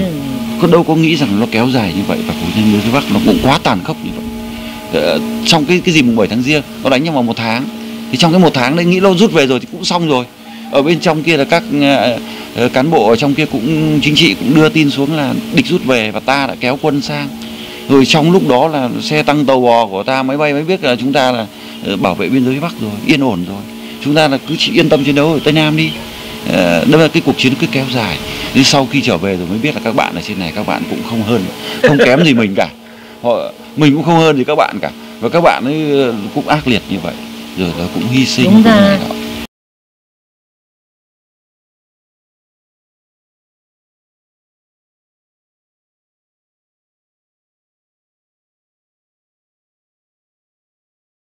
tin nhưng là thực sự thì chị thật ơi là Nó không đến năm Vâng, 89 nó mới nó hết. không năm 89 đấy là ở mặt trận vị xuyên thôi. Vâng. Thì riêng cái chỗ lạng sơn này thì Vâng. có một cái ờ, chỗ chẳng định. Một chỗ chẳng định báo cáo với phòng thủ ở đấy. trong này chứ thì còn những nơi khác không có đánh nhau nữa. Thế thì chị chưa biết. Vẫn đánh. Vâng không đánh tùy từng nơi thôi chứ không chỗ Vẫn Hà Giang là nói với chị không nè còn nó đánh đến vẫn năm chiếm 89 nó vẫn chiếm một số đồi đúng rồi. Nó vẫn chiếm một số đồi nhưng có cái điều là thế này nó không lấn sâu nữa. Đấy. Nó muốn chốt giữ ví dụ lại. như ở chúng tôi là cái bình độ 400 đúng rồi. Cái độ 400 là đánh miết cho đến tận sau này. Khi khi cuối cùng mình phải sử dụng tới cái thuốc khoa học. Bởi vì nó đục. Cái bình độ 400 là nát bét. Thế mà cứ mình lên mình chiếm lên lên chiếm thì nó nó rút vào hầm nó về bên nó nhưng thế mà mình chiếm rồi thì nó tỏa ở những cái đầu hầm nó tỏa lên nó vây nó, nó đánh mình mình mất quá nhiều lính ở đấy ở cái bình độ 400 sau là mình mới đưa lúc đó gọi bây giờ thì bây giờ mới mình mới gọi hỏa tiễn nhưng lúc đó gọi cái Kachusa thằng Nga nó đưa sang đấy thí điểm. Nó bắn vào đấy cho nó bét đi. Nhưng mà về sau là bắn cũng không bắn thì nó nó chui xuống. Đến lúc bắn xong nó lại chui ra. Vì lúc đó lính của nó vẫn là lính đồng. Về sau mình phải đưa cái thu hoạch của thằng Mỹ ấy, cái hộp nó là một khối của nó là 4 cân. Mình đóng chứ không phải là thằng Mỹ nó đóng. Và một khối buộc phá một cân vào đấy và 5 cân thả đánh sập hết toàn bộ những cái đầu những cái đầu nỗ miệng nỗ đi. Rồi từ bấy giờ nó không lên nó không vào mình mới lấy lại được bình độ 400 chứ không thì nó thẳng ở ngoài báo chí thì cứ nói là như vậy nhưng thực tế là mà nói thì cái bình độ 400 là một trong cái bình độ nát bét của toàn giới của bây giờ khó. Tóm lại là về chiến thuật thì nó vẫn cao hơn mình. Vâng.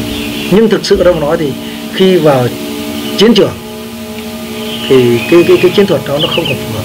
Cái cái cái bình độ 400 này là có nhiều bài thơ. Vâng. Nhưng mà thực sự ra mà nói cái giai đoạn đánh ấy, nó không tiến sang sâu nữa. Nhưng thực sự ra mà nói thì nó cứ gây cho ta cái áp lực. Đúng rồi. Nó cứ bò nó cứ sang nó chiếm nó một quả đồi xong rồi mấy bữa là mình đánh cái nào nó lại rút. Chứ nó không cử thế thôi. Hai bên đấy, cử nó đấy. làm cho mình phải phải phải phải, phải dồn quân lên. Kinh tế của mình sẽ Nói bị suy mình thoái. không mình phải dàn ngày đấy là mình phải dàn quân ra để giữ hết cả cái đường biên. Mất tốn kém lắm. 6.000 cây số. Nuôi cả hai miền. nuôi ờ, nuôi nuôi bao nhiêu quân Nuôi bao để nhiêu bảo vệ quân. cái đường biên trên Vâng. đấy? Không không hề đơn giản một tí nào. Lính mình nếu vừa đói rách là đúng rồi. Và bạn biết không bọn tôi bọn bọn tớ là vào chiến dịch giải phóng Phnom Penh ấy còn phải gánh cả bo bo đi. Gánh cả bo bo đi. Khổ. Đến mức độ như thế. Tôi và ông và ông cảnh không hơn gì nhau ừ. nhưng tôi công còn hơn được một cái việc. Này công là lính. Nếu ta, ta dùng một cái từ nó gọi là nó, nó, nó khách sáo một tí là bảo vệ quốc tế. Là cho dù đi chăng nước cũng công còn có xe để chạy. Xe nào ra báo cáo ông quyết thế này. Bây giờ xin ý kiến chị. Vâng à, từ từ đã. Vâng. có lẽ là như này ạ. Ờ, có một câu mà tôi cũng đã rất là thấm thía rồi. Lính thì ờ, chỉ thích kể khổ không biết kể công. Đúng. Vâng. tôi biết đây là những người cũng rất nhiều chiến công nhưng mà thôi ta nghe nghe họ kể khổ. Vâng. báo với uh, chương trình.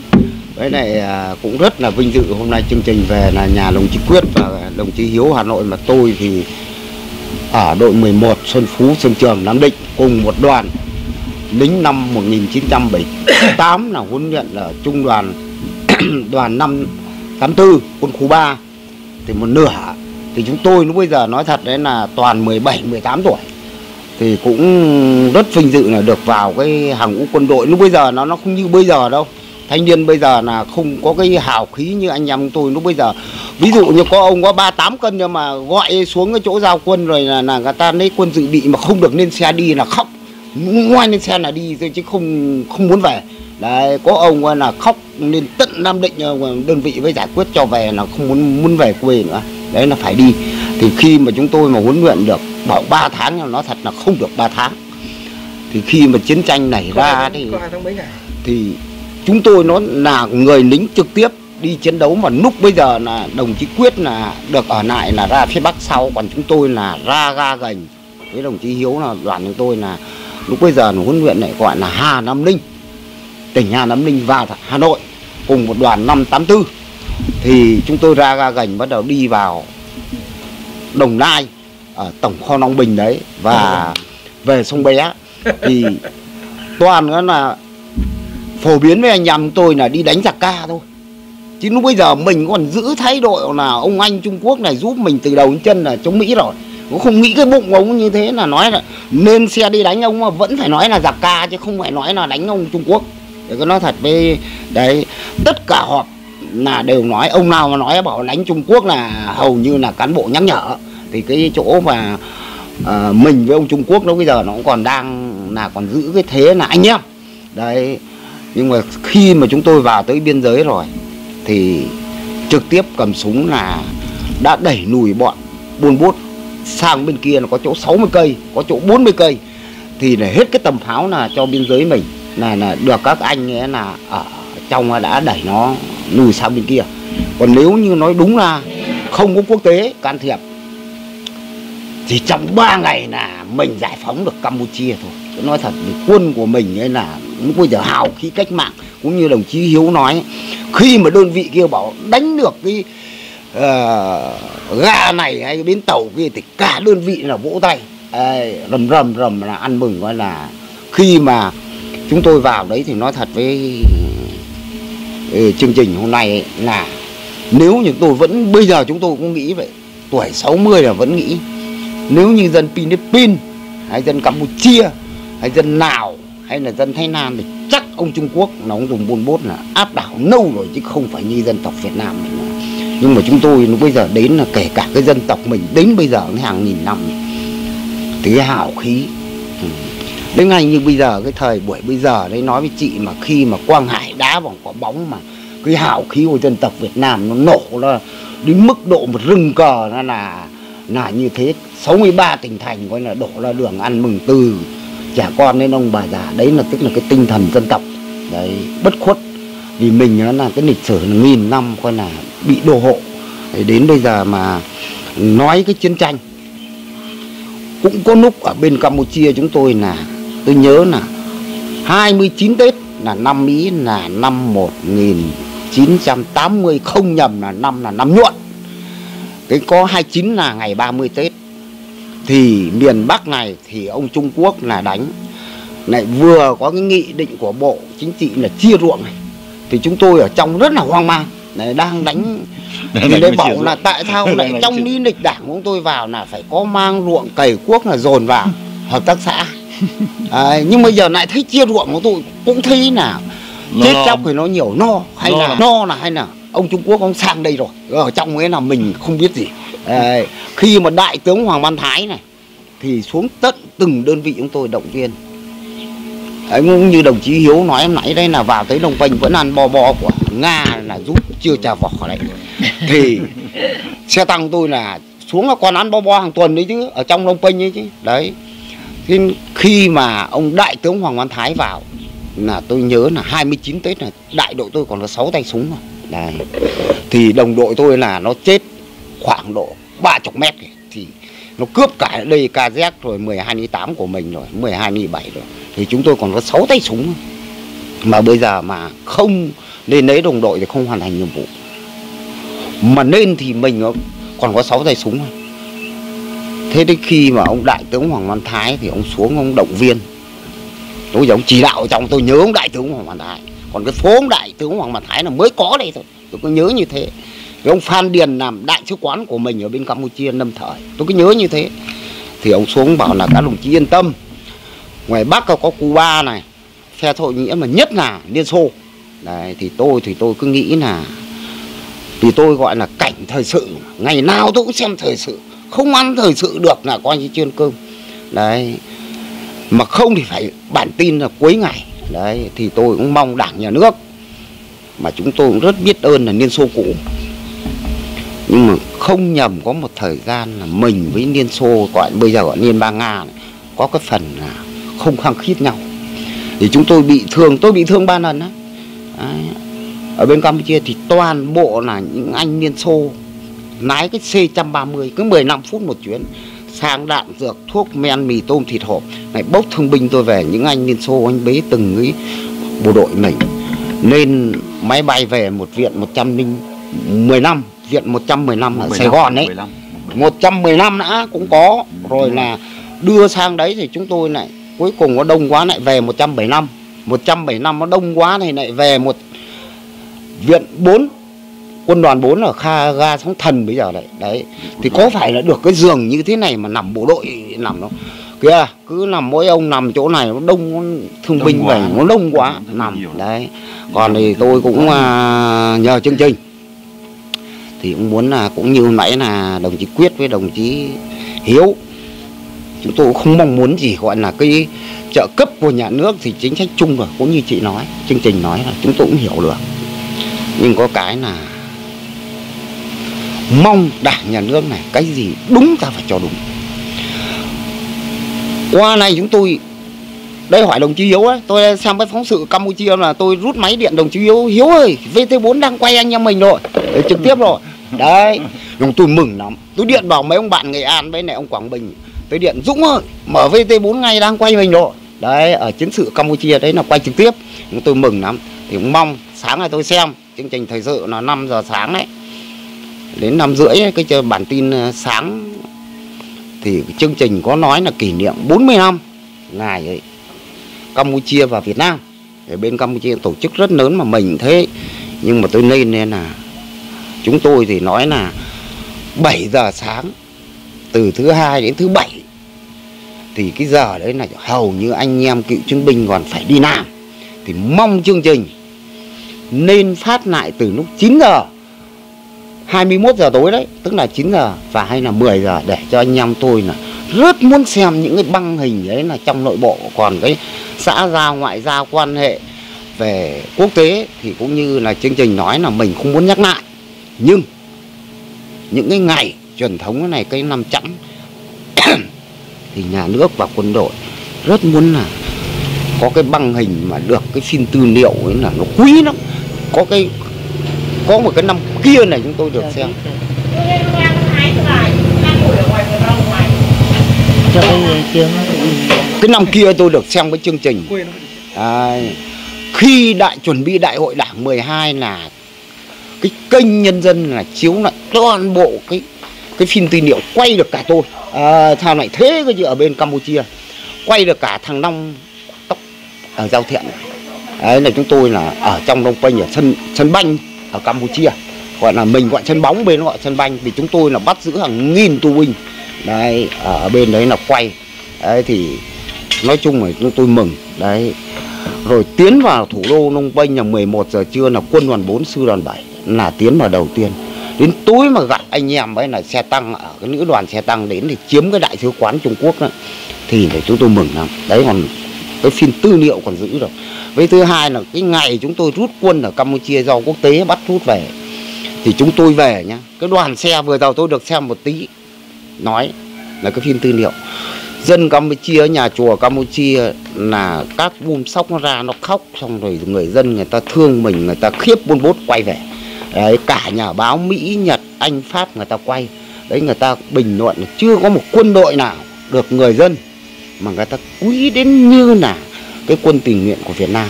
Đấy thì cũng mong coi là chương trình là thâu tóm là những cái gì đấy là cái gì đúng là ta phải cho nó đúng.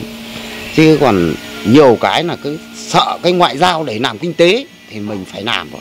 Nhưng cái gì đúng là ta cứ đưa lên. Cũng như đồng chí hiếu nói bố liệt sĩ ông nội liệt sĩ này, mình là ấy này con. Bây giờ nói buôn bốt thì hầu như các cháu bây giờ đang đại học mà không hiểu buôn bốt là cái gì không hiểu yêu seri là cái gì, không hiểu quân bành trướng là cái gì. Mình cứ nói rõ là ông trung quốc. Còn bây giờ ông ấy nhận được lỗi rồi, ông biết là không đánh được mình nữa rồi.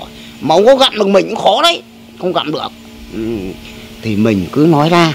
Còn cái việc ông với tôi làm ăn kinh tế là cứ làm cái gì đúng mà cho đúng sai sai. Đấy nói chung thì mong vậy. Còn không mong là đòi hỏi chế độ hay là phải là tăng ờ, cái trợ cấp chúng tôi hay là tăng cái gì.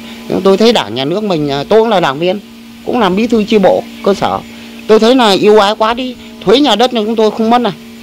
Ruộng cấy ờ, năm ba xào không mất thuế này.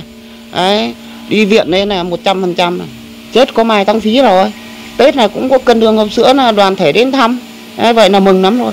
Đấy, nhưng mong đảng nhà nước mình nên quan tâm các cái phim tài liệu và tư liệu. Ghi được chứ không lên bây giờ cũng có cái phóng viên rồi cũng có cái, cái đài ấy, người ta nãng quên người ta xếp vào trong cái kho lưu trữ. Này người ta không muốn mở ra. Nói thật như thế thì mình cũng nên mở. Cho con cháu nước sau nó biết. Nay mai ông Trung Quốc ông bành trướng là biển Đông thì ở đây là biên giới rồi chị ạ. Đấy biên giới biển rồi thì con cháu mình nó mới học được cái lòng yêu nước cực kỳ như thế ví dụ như cái bóng đá của Việt Nam đấy của ông Seo Hàn Quốc đấy là ông như thế ca ngợi hết lời. Đấy là cũng là lòng tự trọng dân tộc đấy. Cho nên là mình coi là chúng tôi vẫn nghĩ là bảo bây giờ Trung Quốc mà sang nữa này chúng tôi tuổi chúng tôi vẫn xung phong đi chứ không bao giờ chúng tôi chùn bước. Đấy chứ không đúng vậy. Vẫn, vẫn chiến Có như đồng chí Hiếu nói là chiến. bọn tôi thuộc lắm bây giờ chúng tôi phải sử dụng đến mười mấy loại vũ khí được. DK cối K54 K59 rồi 12 ni 7 12 ni 8 rồi cả pháo 37 đấy. Chơi hết. chơi hết. Đấy. Cho nên khi mà mà đúng như thế cho nên bây giờ cũng mong coi là ừm, đảng mình cái cái khóa này khóa 12 là bác trọng làm được rồi. Thì mong coi là cái dân chúng tôi là bây giờ người nào quê nông thôn hay kể cả kiều bào nước ngoài người ta cái thông tin đại chúng bây giờ nó nhanh lắm. Chúng mong cố gắng là chống được cái tham nhũng là một này. Tôn vinh cái phim tư liệu của anh em cựu chiến binh. Cũng đừng như đồng chí quyết nói là hôm nãy là cũng có cái tự ái ấy. Một tí. Tất nhiên là không chửi nữa. Nhưng cái phim tư liệu là mình phải mở ra. Để cho chúng tôi nhìn thấy. Chúng tôi là cũng là khổ lắm chứ. Đâu phải không? Cái phim tư liệu mở cho chúng tôi tối chúng tôi Bác lên mạng bác tìm thiếu gì? Mạng ở khôn chị nói với chị là hầu như cựu chiến binh có cái này thôi. Được rồi đợt này được Vâng, đợt này một tuần cơ mà. Và vâng phát Đợt tận này- tuần đấy. Tuần đấy. Từ Tức là- mình nhá, là Tuần. rất là may. Vâng. Là may là gì? Là Pol Pot vừa rồi ấy, Đấy. là bị Bị tòa án. có, có nghĩa là người ta gọi là nói nó phải đúng lúc. Đúng lúc quan trọng lắm và tức là khi mà ông tòa án ông ấy tuyên là thằng Pol Pot có tội Có thì tội. khi đấy là mình mới bắt đầu nói thoải mái. Và chứ còn trước đây là mình đang còn vừa nó vu vạ mình ờ, xâm lược. Vâng nó cứ bảo là nó mình cứ cho là xâm lược đi nhưng mà nhìn hiện tượng anh ạ. Đúng là mình đem quân sang nữa có thật. Cho nên nó khó gọi là tình ngay như lý gian. Còn chuyện nó sang bên mình nó đánh nó giết bao nhiêu người đấy có một đêm mà sáu nghìn dân mình đấy mà Nó mình mời quốc sáu tế đến để xem cái hiện trường này kia nó không sang bởi vì hai thằng to đầu nó là về đầu như chị rồi. bảo ấy là ông ờ, Liên Hợp Quốc sao. có năm ông ủy ban Liên Hợp Quốc thì có mỗi ông Nga là anh em với mình thôi còn ông Mỹ đang ghét mình ông Pháp rồi ông Trung Quốc rồi Thì còn đâu nữa? hai đầu đấy thì là Ừ. ông Mỹ ông đang hằn thù mình Vâng. ông Vâng. đang với lại cũng có một cái chuyện nó như thế này nữa là tôi nghĩ cá nhân tôi suy nghĩ vậy thôi ông Pháp thì ông xa Vâng. ông Mỹ ông cũng xa. Ừ. mình có bây giờ mình có chửi mắng ông ấy thì ông có gọi là thọc gậy đánh xe thì ông ấy cấp tiền. Nó nghe vậy thôi. Và ông ấy xúi bọn vớ vẩn nó giống gãi ngứa thôi. Vâng. Nhưng mà còn ông Trung Quốc với ông Campuchia hay ngay bên cạnh. Vâng. Nó bực mình vâng. Nhỡ biết đâu được ngày mai nó nổ súng cái lại khổ cả hai bên. Vâng. dân mình khổ dân họ cũng khổ. Thế cho nên là thôi các đấy vừa giờ nó ông Hun Sen đấy thủ tướng Hun Sen với lại ông Hinh Somrin là đấy là chính phủ coi như là lâm thời đấy là ờ, là là chính là chúng tôi là sư đoàn bảy quân đoàn 4 đó là mới đầu ở đấy, dựng ở cái hoàng cung ờ, chính Ừ. quyền của Ừ. ờ, Campuchia lên ấy thì họ cũng rất là ít quân Ừ. mang Họ- gọi năm tiểu đoàn làm gì ra một quân có có có hết có hết không không đâu. không có ở dân Khmer là chờ chính có là bọn phản chiến ấy Đấy. là quân lúc đầu nòng cốt Thế chính thôi. là phản chiến thôi gọi là năm tiểu đoàn thì họ đi có 5 xe thôi mà. ít người năm Vâng. xe cắm cờ chạy là Cắm chính cờ. thôi nhưng mà chúng em này, lại này rất là là là tuy là lao động nhà quê nhưng mà rất là lo lắng cho cái tình hình đất nước mà sát ông Campuchia này mấy cái vị coi như là vẫn theo Khmer đỏ đấy là nó dịch quần bốc của mình nhá đấy khi mà đảng nhân dân cách mạng Campuchia là đảng mình đấy thì còn có quyền có chức là còn đấy rồi. Đấy cái khóa trước là tôi theo dõi cái bầu cử của Campuchia là nó chỉ thua mình có 5 phiếu thôi. Đấy nhưng cái khóa bây giờ là mình hoan nghênh là mình thắng là 87% cho ông Hun Sen và ông Heng Somrin này. Đấy cho nên là rất là muốn là làm sao là mình ngoại giao và nắm chắc được cái chính phủ bên Campuchia. Không thì tôi nói là nó từ gì rất giống Bắc Kinh Vâng. vậy đấy. Nếu như mà xong là vừa giờ là ông Tập Cận Bình. Đấy. Sang là nó đòi ấy là thuê một cái cảng công bông thom và cảng su núc vin để cho hải quân hạm đội là đồn trú là lấy danh nghĩa là tiếp quản cho vùng biển. Đây thì mình lên án mà 10 nước ASEAN lên án thì may là ông Hun Sen là ông ra ông tuyên bố là không bao giờ cho quân đội nước thứ hai để đánh nước thứ ba đất nước Campuchia nữa. Đấy thì chúng tôi cũng mừng được cái chữ là ông Hun Sen lên trả lời. Đấy. cái đó thì đánh nhau ngay. Ừ, đấy. Ngấm rồi. Đấy. Ngay từ- cả đất nước. Và bây giờ là còn cái đảng CPEC của nó là là Trung Quốc dựng lên bây giờ nó rất mạnh. Và tôi xem cái tin quân đội của mình là ông Bắc Kinh này là ông viện trợ vũ khí không hoàn lại cho Campuchia ngay bây giờ nhưng mà ông Hun Sen là ông không muốn lấy nhưng không lấy thì ông Trung Quốc ông ấy lại hắt hơi vào cái nữa thì cũng rách vẹo ông, Hun Sen ông bảo với ông Ừ. Trung Quốc Ừ. là ông Trung Ừ. Quốc cứ đưa tiền mặt đây ừ. đừng đấy là chuyện thế. đấy. đưa tiền mặt Vậy đây cho nên là- được còn cái kia thôi còn ấy là tôi chỉ lo là nhất cái ông Campuchia ông quay đầu lại với mình đấy là tôi theo dõi rất là là là vừa giờ thì Vì mình bọn em một phái đoàn thang ở bên đó mà. Bao nhiêu năm ờ, tiếp xúc và hiểu được cái tâm trạng của người ta. Đâm ra và cũng hiểu cái mặt trận đấy. Đấy. đâm ra đã từng đổ xương đổ máu rồi đâm ra rất là ngại là Ừ. một khi mà nó có cái hướng lệch Nhưng đi mà- là mình khổ đấy dân mình khổ nhưng đấy. nhưng mà sau này tôi lại nghĩ cái thời gian ông Hiếu ạ Ừ. cái thời gian buôn bút nó nó nó, nó diệt chủng 7 triệu dân mà mình là và giải phóng cho là mình đánh hơn triệu thôi chết triệu thôi triệu dân thôi và bom rơi đạn nạc thôi. Còn nó giết mất 2 triệu 7 dân của nó. Ừ. độc cô đấy ao này cũng đầy xác ao kia cũng đầy xác nó diệt chủng ấy. Nó không bắn đâu cái búa thành xanh nó bổ luôn. Còn lính mình mà nó mà bắt được ấy nói ờ, hơi ấy tí. Chim nó cắt đút mồm này thịt nó ăn hết. Xong rồi nó giang chân giang tay đức chúa giê xu chịu nạn ở ngoài đường kia đấy còn chỗ nào ấy là không ấy là nó lấy cái mũ sao bộ đội mình nó đội đây xong nó đeo khẩu súng này nó rạch hết bụng nó để đấy để cho mình coi nhìn thấy mà khiếp. Đây là khi bắt được cái tù binh ấy của nó ấy. Đơn vị của cảnh nó có một cái trận chiến Ừ. nó có một trận trận em để chiến. em để Ừ. khi bắt được tù binh của nó ấy, thì nó mới hỏi mình thế này. Thì chúng tôi cũng biết sáu bảy phần trăm tiếng Campuchia.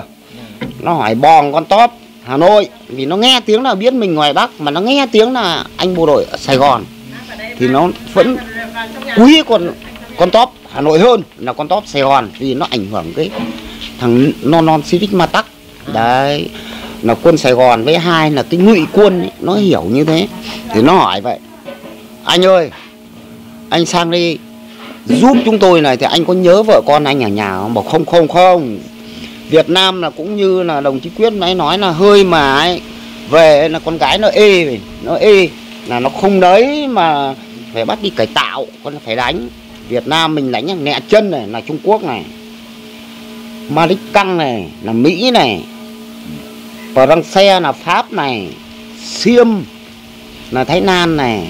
Còn Campuchia này là sang giúp để bắt cái bọn buôn bố thôi nếu mà để Việt Nam nhá mà giải phóng là có 3 tiếng thôi.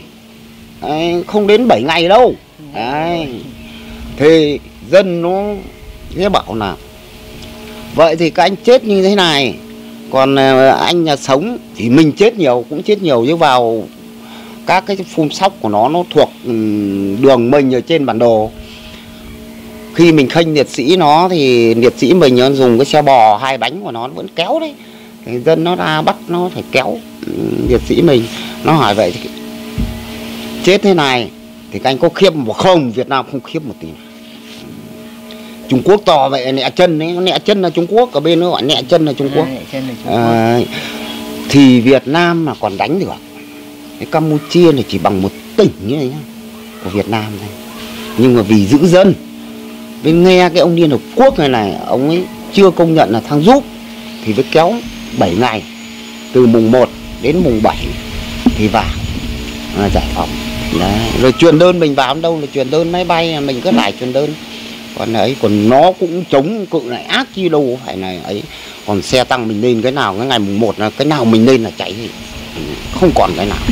Đấy thì vào thì dân là nó ăn tập thể.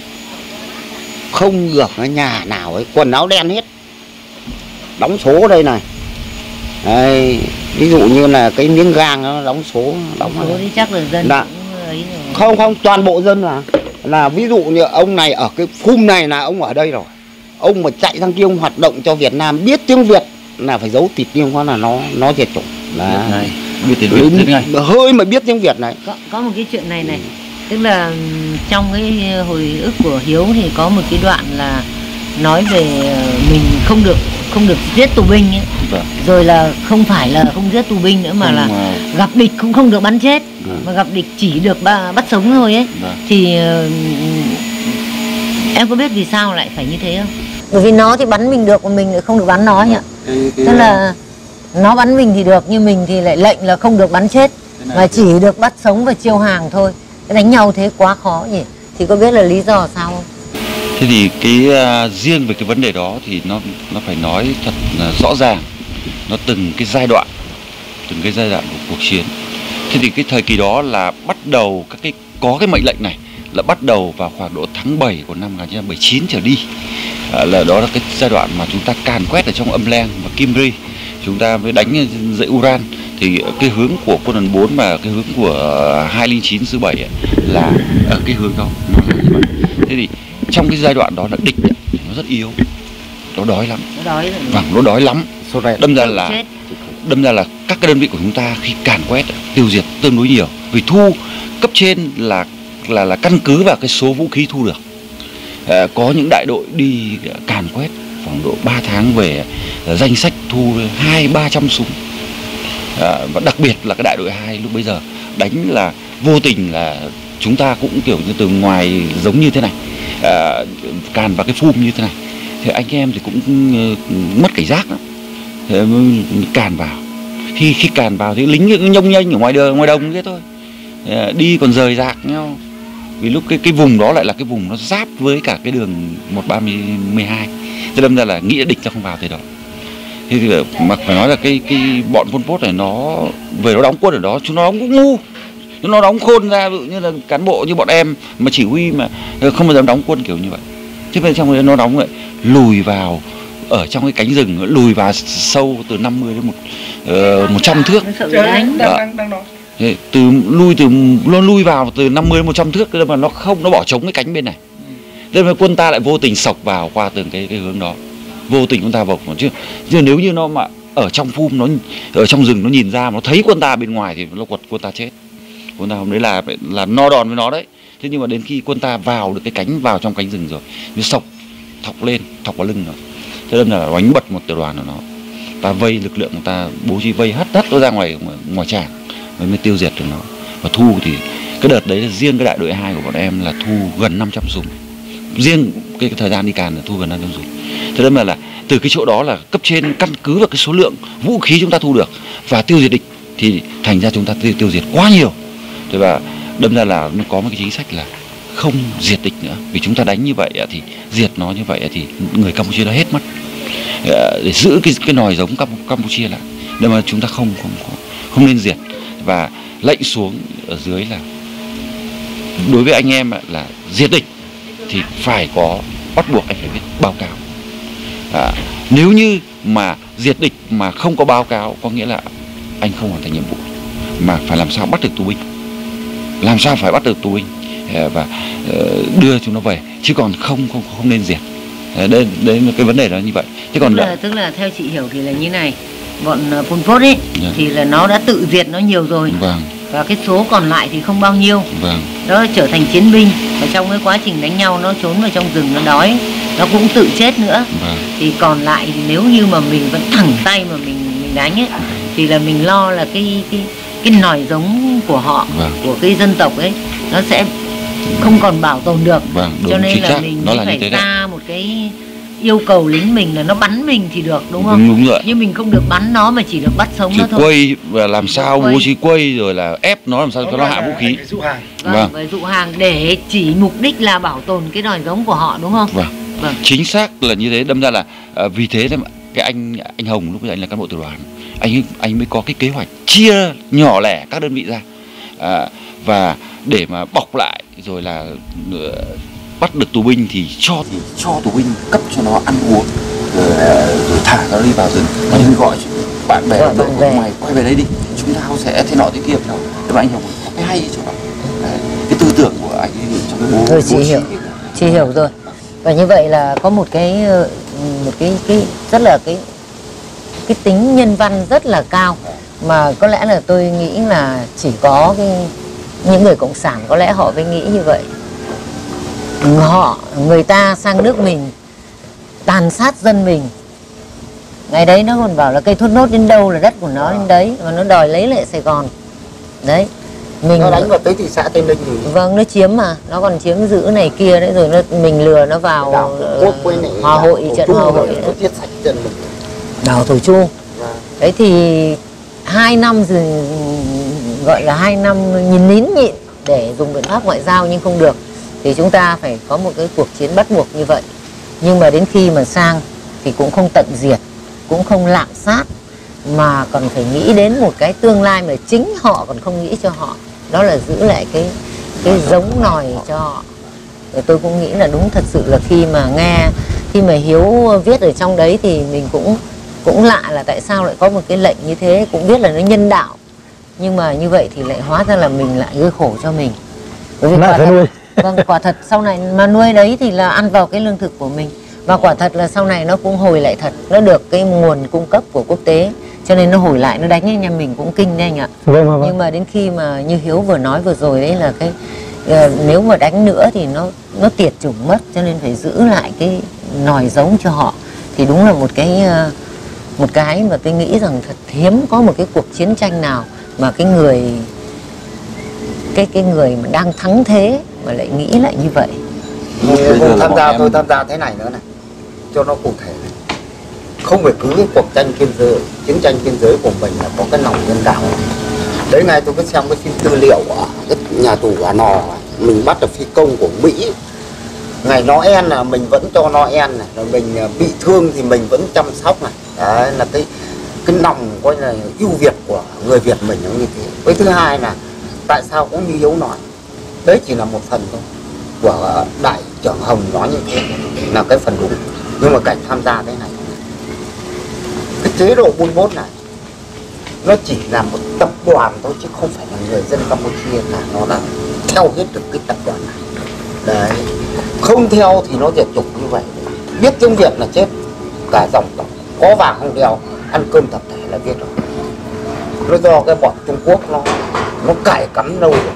Từ buôn Bút Kiên Sari rồi, thằng Ben Chuvan là mình làm cho nó bộ trưởng quốc phòng. Ở khi tôi bị thương về đến bệnh viện Bô Sát, cái gà Bô Sát là tỉnh Bô Sát được ra tập Bắc Tam còn nó còn 11 giờ trưa bằng tầm giờ, nó vào nó thăm tôi ở bệnh viện.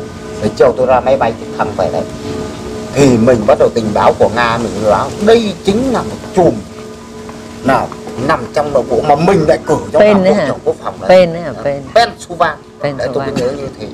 Thì nó thăm tôi nó cho tôi được một hộp sữa. Đấy, toàn bộ là thương binh nằm đấy. Thì ra khỏi cổng bệnh viện bô sát. Bắc tam bòng đấy là mình bắt. Đấy là nó tình báo của nó cải khắm thì tại sao là mình là không diệt nó? Bắt được lính nó lại không diệt.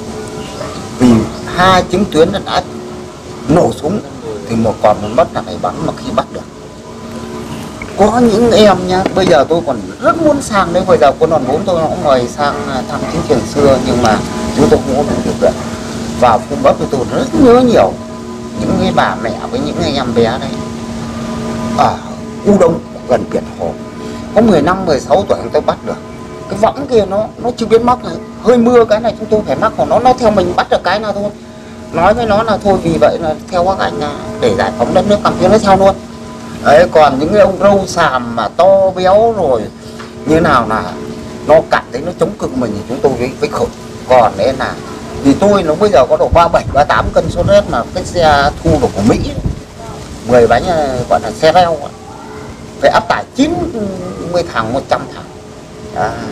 Sợ nhỉ? thì Cũng sợ. nhiều lúc là nó bắn chết cả lái xe mình nó cướp cả cả xe mình trong đó nó có cả thương binh liệt sĩ của mình đấy thì khi mà chói nó cứ thằng nào có cái khăn cà ma đấy gọi là khăn campuchia đấy khăn bà, bà má miền Nam khăn rằn đấy Sọc, ăn rằn.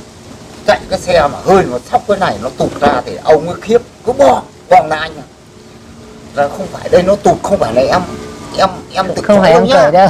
thì mình nhớ là nó mấy thằng nó đòi nó cướp súng mình với này ờ, ông lái xe là của mình ấy.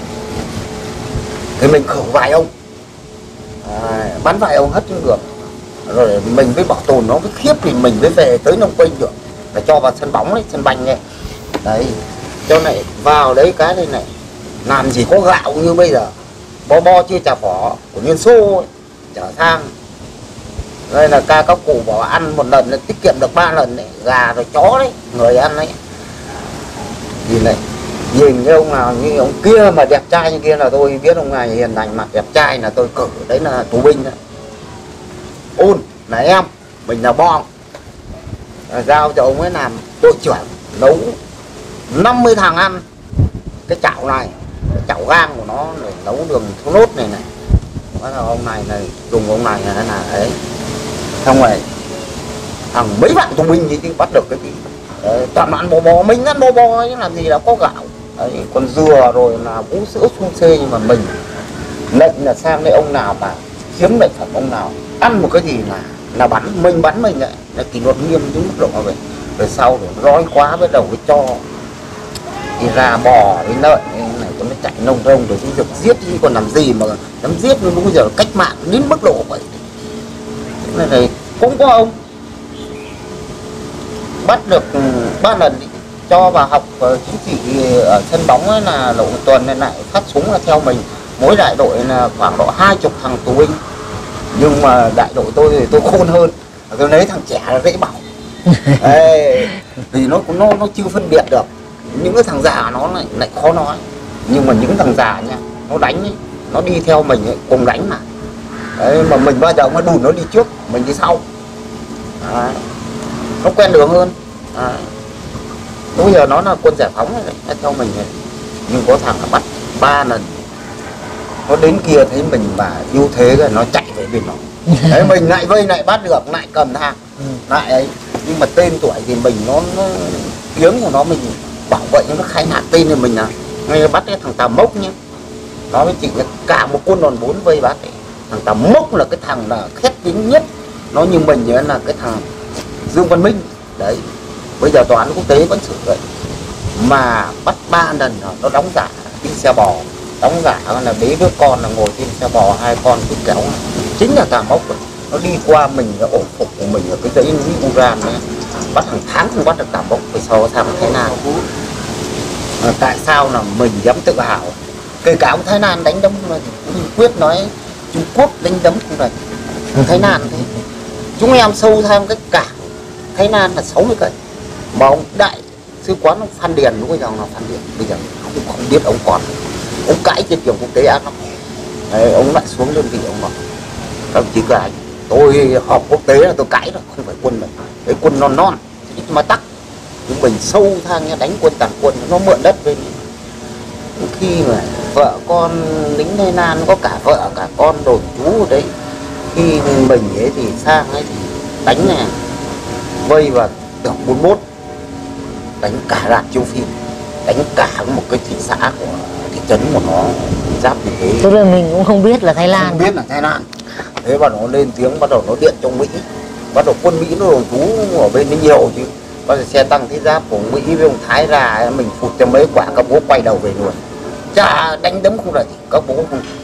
Coi là các cái đồn biên phòng có bố cả vợ con là nuôi cả chó chạy. Coi là nhìn cái Việt Nam chạy hết mà cho nên mình ngay như cái đền thờ mà hai bên tranh chấp là mình với Thái Lan đấy là mình bây giờ cái hát Suvia đấy cái đền thờ đấy ông Thái Lan ông Campuchia bây giờ vẫn đang tranh chúng em ở đấy là ba tháng ông Thái Lan cái sang là chúng em xì cho mấy quả nó chạy hết đấy bây giờ là mình vẫn binh vực cho cái đền hát Suvia là của. Campuchia. Rồi, rồi, xin là cảm ơn anh. À, bây giờ quay lại cái chỗ câu chuyện của mình nhỉ. À, rất là tiếc là thật sự là tôi ờ, cứ rất là muốn biết cái cái câu chuyện mà mình tấn công sang tức là phản công, vâng ạ. Phản công. À, bởi vì là tôi ờ, vâng, tôi có nhớ đến cái trận ờ, Châu Ung Châu Liêm của Lý Thường Kiệt. Thì nghĩ là mình sang đấy là mình chọn một cái chỗ giống như là hậu cần ấy để mình đánh. Nhưng mà không phải. không phải. Vâng. Đây đây rõ là mình đánh để thử cái lực lượng của nó thử cái sức nó dùng để về quê ta mình nói cái sức mạnh của nó đến đâu? Đánh kiểm tra. Mà gọi là lúc đó gọi là thí điểm cho toàn tuyến biên giới. Cái trung đoàn 460 là trung đoàn hy sinh. Chấp nhận hy có sinh. thể gọi là cảm tử đấy. Đúng là như vậy. Nếu là dùng một cái từ là đúng là như thế nhưng cũng còn về cái khung của sư đoàn à trung đoàn. Cái ờ, cái trung đoàn 460 bây giờ về được ông nào cũng là thương binh hết đấy bạn em đang thương binh nặng cùng ông này cùng với ông này đang làm bao bánh à thế à? Nhiều. Chín mươi phần trăm là thương binh đang làm tức là cái trung đoàn 460 là trung đoàn đánh thằng bên kia đấy. Đấy thí điểm cái trung đoàn thí điểm cho toàn tuyến biên giới đấy bản chất đấy. Đình đập nặng hơn đấy cái tiếng này bản chất nếu là chị rất từng đi hỏi tôi nghe thời tham gia là không từng nói nhiều về bản chất. Nhá. với chị thì xem là chị ờ, xem là có cái nói được cũng như chị nói có cái mình biết không nói. Ông cứ nói về Đấy, tôi đấy. biên tập mà Vâng. yên tâm. vâng. Nhưng nghe thì bảo bản chất là bây giờ nó lại lấy mất rồi. Không. Nó làm du lịch mất rồi. À, cứ toàn những cái tôi phải khẳng định một cái câu này. Thì chúng tôi mới lên ở đấy tôi phải hỏi xem nghe là một. nó lại lấy hai nữa là hiện nay ấy, ta không dám gọi không cái cái đơn vị của tôi là không không được quyền rút xuống tuyến dưới nhưng mà bây giờ trước kia là trung đoàn. Nhưng bây giờ nếu mà gọi là trung đoàn thì nó vẫn là mang tính chất chiến tranh to quá. Thì gọi là đoàn. Đoàn kinh tế. Đoàn kinh tế. Ừ. làm kinh tế. Nhưng thực tế binh đoàn 10 năm ấy. Đấy đấy đấy đấy, đấy nó là như vậy. Sang cả các Đấy. tức là đấy là đoàn kinh tế. Vâng. Vâng, vừa không phải nuôi quân.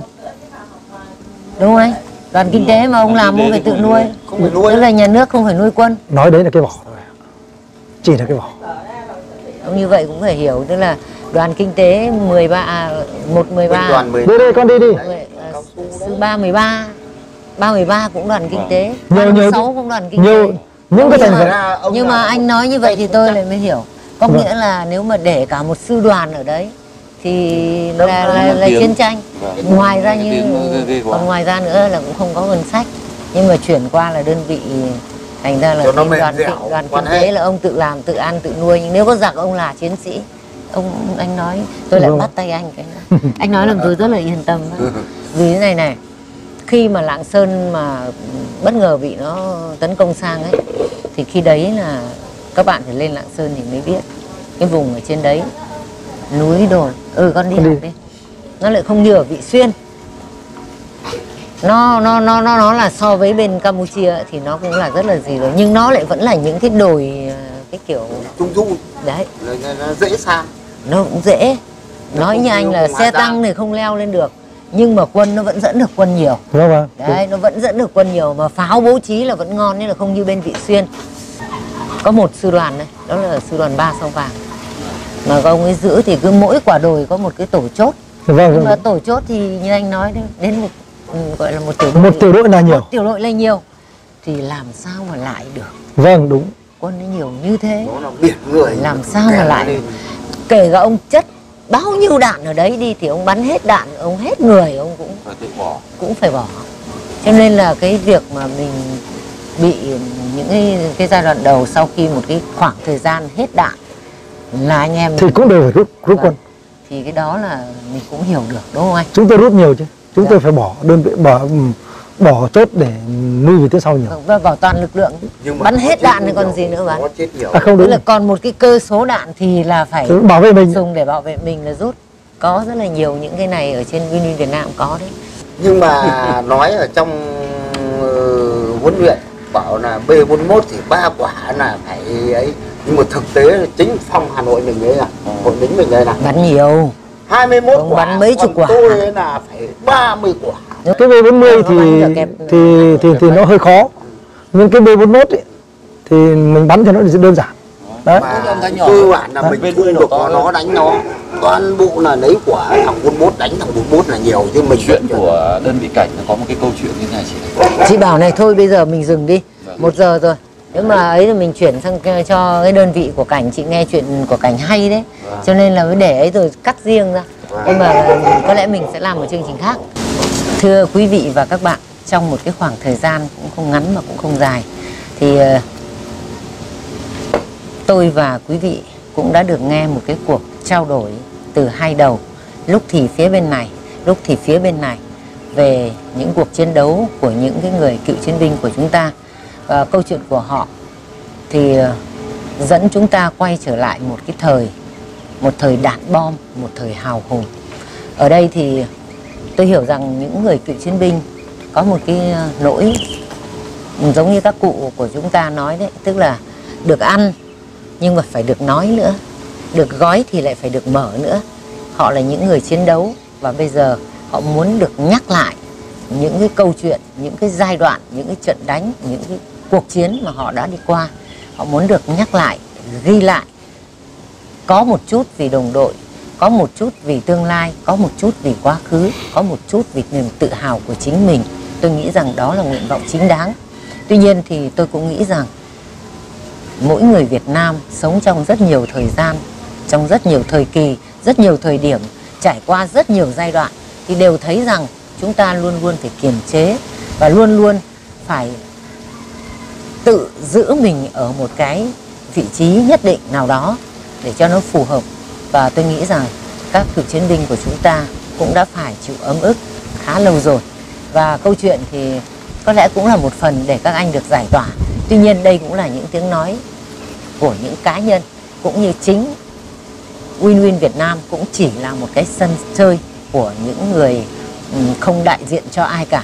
Chỉ nói lên nỗi lòng của mình trước đất nước, trước nhân tình thế thái, trước lịch sử cũng như là muốn đóng góp một cái phần của mình vào công cuộc xây dựng đất nước.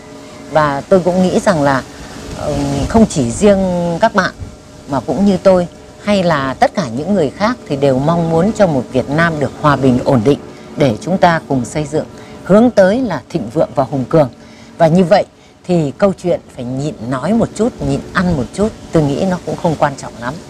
Nhỉ có phải không các anh? Vâng, chị cảm ơn chị. vâng. và câu chuyện như vậy thì cũng là một cái sự giải tỏa và tôi nghĩ rằng cái con đường ngoại giao cái cuộc chiến ngoại giao nó cũng là rất cam go và nó được xây dựng nó mạnh hay không bởi chính những người lính của chúng ta. Cho nên là đánh nhau thì trên mặt trận đổ máu hy sinh trên mặt trận nhưng ký kết thì lại ở trên bàn. Hòa bình lại được lập lại ở trên bàn bằng những cái quyết định mà những cái hợp bây giờ nếu kinh tế gọi là hợp đồng ấy, còn ở đấy thì ta gọi là hiệp định hiệp định hiệp nghị. Vâng vâng, vâng. vâng. Thì ở đó những cái điều bất lợi hay có lợi cho ta hay cho bên bên đối tác thì lại có một cái phần cực kỳ quan trọng được quyết định chính là chính là trên mặt trận của các anh của những người cựu chiến binh của chúng ta ở đây. Các anh đánh tốt đánh mạnh đánh giỏi thì trên bàn ký ông ấy ký sẽ có những cái điều mà có lợi cho mình. Giống như ngày 30 tháng, ngày 30 tháng 12 năm 1972 Mỹ buộc phải chấm dứt kế hoạch Linebacker 2 ở cái thế bị thua, máy bay B-52 dụng ở trên miền Bắc Việt Nam và chấp nhận ký hiệp định Paris. Họ không đồng ý vì cho rằng là họ bất lợi và có lợi cho Việt Nam Dân Chủ Cộng Hòa. Thì đó cũng chính là chiến công của các chiến sĩ trên mặt trận phòng không không quân. Cũng như là các anh cũng vậy. Hiệp định biên giới với Trung Quốc. Nếu như không có hai cái cuộc chiến hai đầu quyết liệt của những người cựu chiến binh ngồi đây, thì cái hiệp định biên giới với Trung Quốc, không biết là cái đường biên nó chạy như thế nào. Biết đâu nó nằm ở cái suối Thanh Thủy. Nhưng mà những người lính của chúng ta khi trở về chỉ còn có một chân thôi. Bởi vì họ đã giữ từng cái tấc đất ở đó, cho nên đường biên đã được giữ như bây giờ. Thì tôi nghĩ rằng là đôi khi mình cũng phải nín một chút, chịu một chút để đạt được cái lớn hơn và tôi cũng tin rằng cái đường mốc khi mà hai bên đã ký quốc tế đã công nhận thì nó sẽ giữ được cái nền hòa bình bền vững lâu dài cho con cháu chúng ta. À, đúng không các anh nhỉ? Vâng vâng vâng đúng, và một đúng lần nữa thì vâng, theo uh, một lần nữa thay mặt cho những người làm chương trình cũng như tôi nghĩ rằng là tôi uh, rất là muốn được thay mặt cho khán giả của tôi. Xin cảm ơn các anh những Vâng. người chiến binh quay trở về với đời thường mà một phần tâm tư, tình cảm của mình, có thể nói nữa là một phần linh hồn của mình đã đặt lại ở nơi trận chiến và một phần thể xác của mình cũng đã đặt ở nơi trận chiến, quay trở lại đời thường. Nếu như cuộc sống của các anh không được như mong muốn, còn nhiều khó khăn, thì ờ, không chỉ là đảng, chính phủ còn có lỗi, còn chưa được đầy đủ với các anh, mà kể cả nhân dân, những người như chúng tôi cũng chưa được đầy đủ với các anh. Tôi nghĩ rằng là càng ngày thì cái phát triển kinh tế của đất nước càng tốt hơn. Có lẽ những cái chăm sóc đối với những ờ, thương binh, những cựu chiến binh, những thân nhân của gia đình liệt sĩ sẽ ngày càng tốt hơn. Như ờ, hôm nay về đây thì tới nhà anh quyết, nhìn thấy gia đình. Tôi nghĩ là một cái cuộc sống ở nông dân, ở nông thôn như thế này, có lẽ là cũng là một cái cuộc sống mà chúng ta tạm thấy yên lòng. Mặc dù là không phải là giàu có hay là ngang bằng được với những người mà họ có đầy đủ chân tay? Anh quyết nhỉ? Vâng vâng đúng thì đúng là như thế này thì tôi cho rằng là cũng là một cái điều mà bản thân tôi cũng được cảm thấy là được động viên Ờ, và cuộc trò chuyện của chúng tôi thì ờ, tạm dừng ở đây. Ờ, có thể là các bạn sẽ thấy là nó có những cái chỗ nó không gắn liền được với nhau nhưng mà thực tế là cuộc chiến của chúng ta đã xảy ra đúng là như vậy. Đầu ở phía bắc đầu ở phía nam ngăn bước quân thù phía nam phía bắc là vâng những người chiến binh này đây. Ờ, cho nên là ừ, mới có cái buổi trò chuyện này. Và cũng trong cái ngày hôm nay như tôi vừa chia sẻ cái tiếng sáo diều ở trên kia chắc là sẽ ảnh hưởng đến âm thanh của cái chương trình. Nhưng mà vẫn khiến tôi nhớ lại những cái ngày của Lai Bắc Cơ 2 đang hoành hành ở trên đất Bắc. Và tôi nghĩ rằng là những ngày cuối năm, cái Tết Noel, chúng ta rất là nô nức, chúng ta rất là háo hức, hoan hỉ, một màu sắc rực rỡ ở trên đất nước. Điều đó thật là tốt, điều đó thì, đó là hạnh phúc. Nhưng mà khói hương thì cũng vẫn đang tỏa lên ở đâu đó trong những gia đình. Và dù chúng ta có không còn nhớ, thì con cháu họ cũng vẫn đang thắp những nén nhang đó trước bàn thờ của họ bởi những trái bom từ B52 thả xuống. À, tôi nghĩ rằng là chương trình của chúng tôi sẽ khép lại ở đây. Và cũng à, tôi chắc đồng ý với tôi là những người cựu chiến binh này là họ cũng đồng ý rằng nhớ lại quá khứ để hướng tới tương lai. Chúng ta không khơi lại hận thù.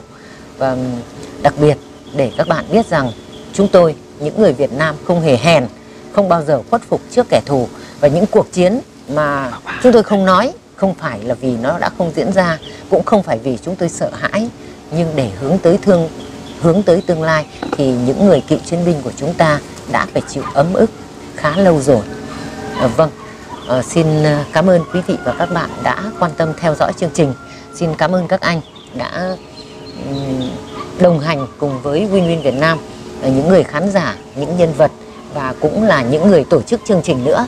Um, xin chúc sức khỏe của các anh nhân dịp năm mới thì cũng chúc sức khỏe của tất cả các uh, nhân vật của tôi, uh, khán giả của tôi và cũng là ân nhân của chúng tôi nữa được an khang thịnh vượng. Tôi xin uh, thay mặt ba anh em tôi là có một cái lời chúc Win Việt Nam mỗi một ngày càng có nhiều những bản thể sự đến với người đến với bạn đọc đến với tất cả mọi người trên cái đất nước Việt Nam này ngày một tốt hơn để tạo điều kiện cho anh em chúng tôi có tiếng nói chung trong cái công cuộc đổi mới của đất nước. Xin cảm ơn. Dạ cảm ơn anh. À. em ơi dạ. Thưa quý vị và các bạn, Dương Thừa Vũ là một khán giả của Win Win Việt Nam. Ở cái tuổi 32, có thể nói còn thật là vất vả mưu sinh như bao nhiêu thanh niên khác. Ấy vậy mà, một lần em gọi cho tôi, rụt rè đề nghị muốn được tặng cho cựu chiến binh, thương binh Bùi Xuân Quyết bộ chân tay giả 3D. Với chuyên ngành và khả năng của mình, Vũ tự tin rằng em có thể tự làm và chỉ cần liên kết thêm phần điện. Và thực tế thì không như mơ. Vũ đã loay hoay đến với hầu hết những nơi có thể làm được điều em muốn và để có thể thực hiện được ý nguyện thì phải có một số tiền khá lớn thực sự ngoài khả năng của em. Để chia sẻ khó khăn với Vũ, chúng tôi đã thống nhất sẽ nhờ đến sự chung tay giúp sức của khán giả sau khi đã có một hợp tác sơ bộ bước đầu với một cơ sở ở nước ngoài. Mưa lớn sầm sập. Trước đó, một người bạn của chúng ta, Vàng A Lâu, trưởng bản Sài Khao đã tử nạn vì đất đá sạt vùi lấp. Một tin thật là buồn. Nhưng lịch đã lên, vé máy bay đã đặt và cơn bão số ba cũng không ngăn cản được. Vũ bay từ thành phố Hồ Chí Minh ra Hà Nội trong nỗi lo của chúng tôi. Và chúng tôi về giao hương, giao thủy Nam Định trong cơn mưa, hình như cuối cùng của đợt mưa bão.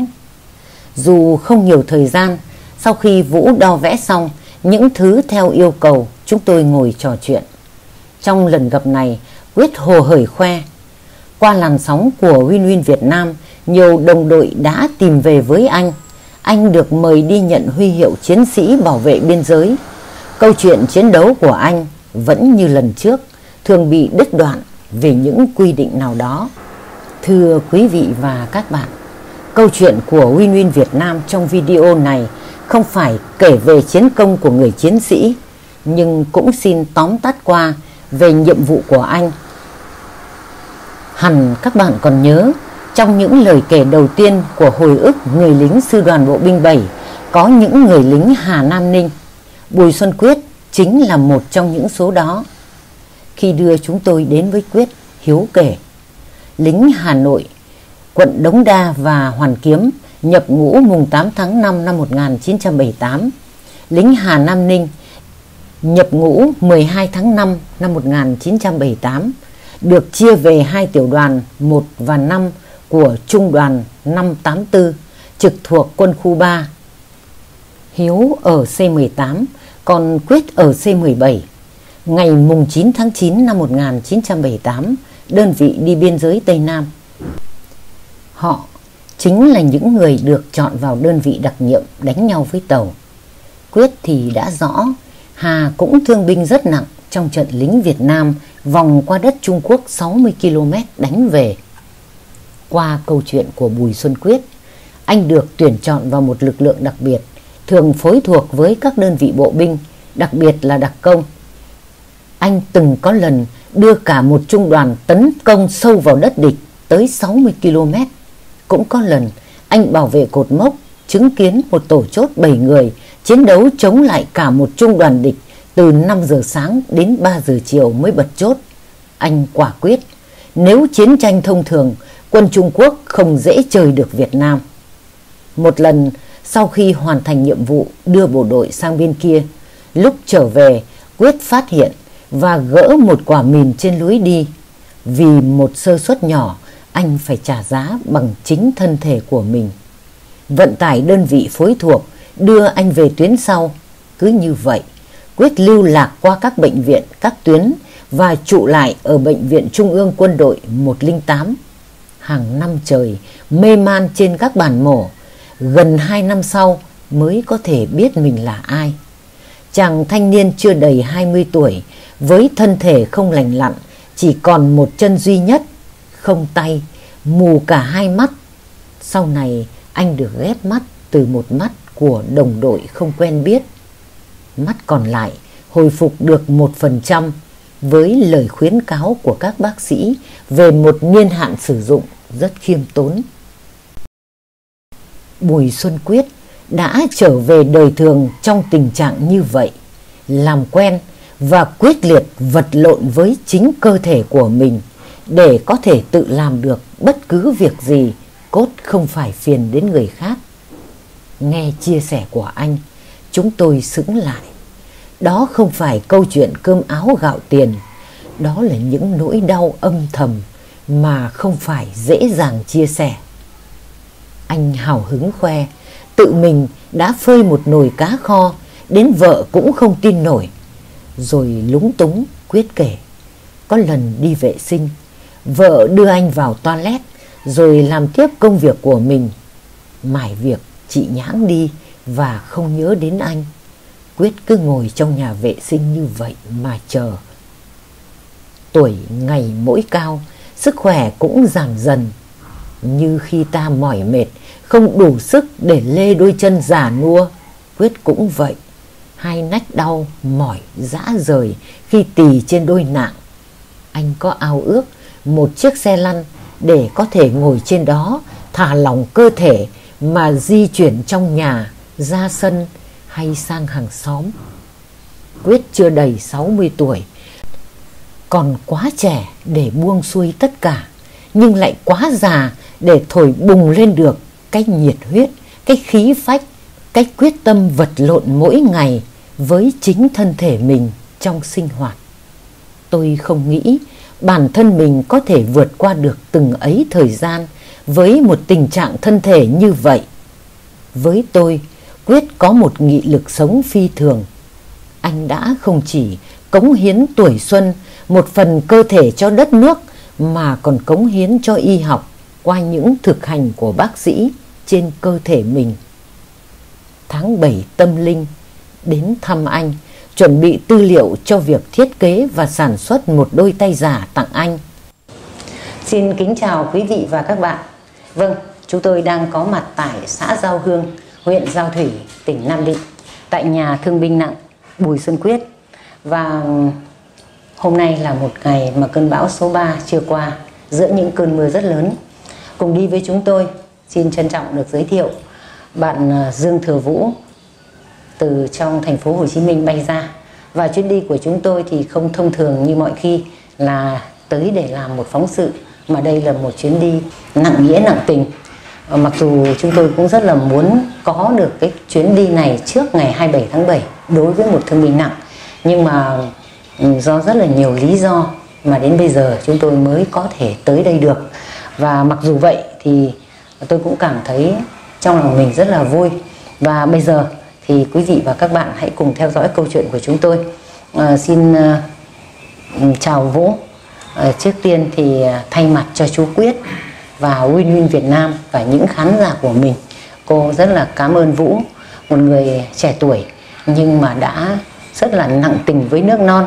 Cô nói nặng tình với nước non bởi vì những người thương binh, những người liệt sĩ của chúng ta chính là những người đã hy sinh dâng hiến cho nước non đó. Từ lúc đến đến giờ thì có lẽ chúng ta nói với nhau rất là ít và chỉ chủ yếu là làm việc thôi.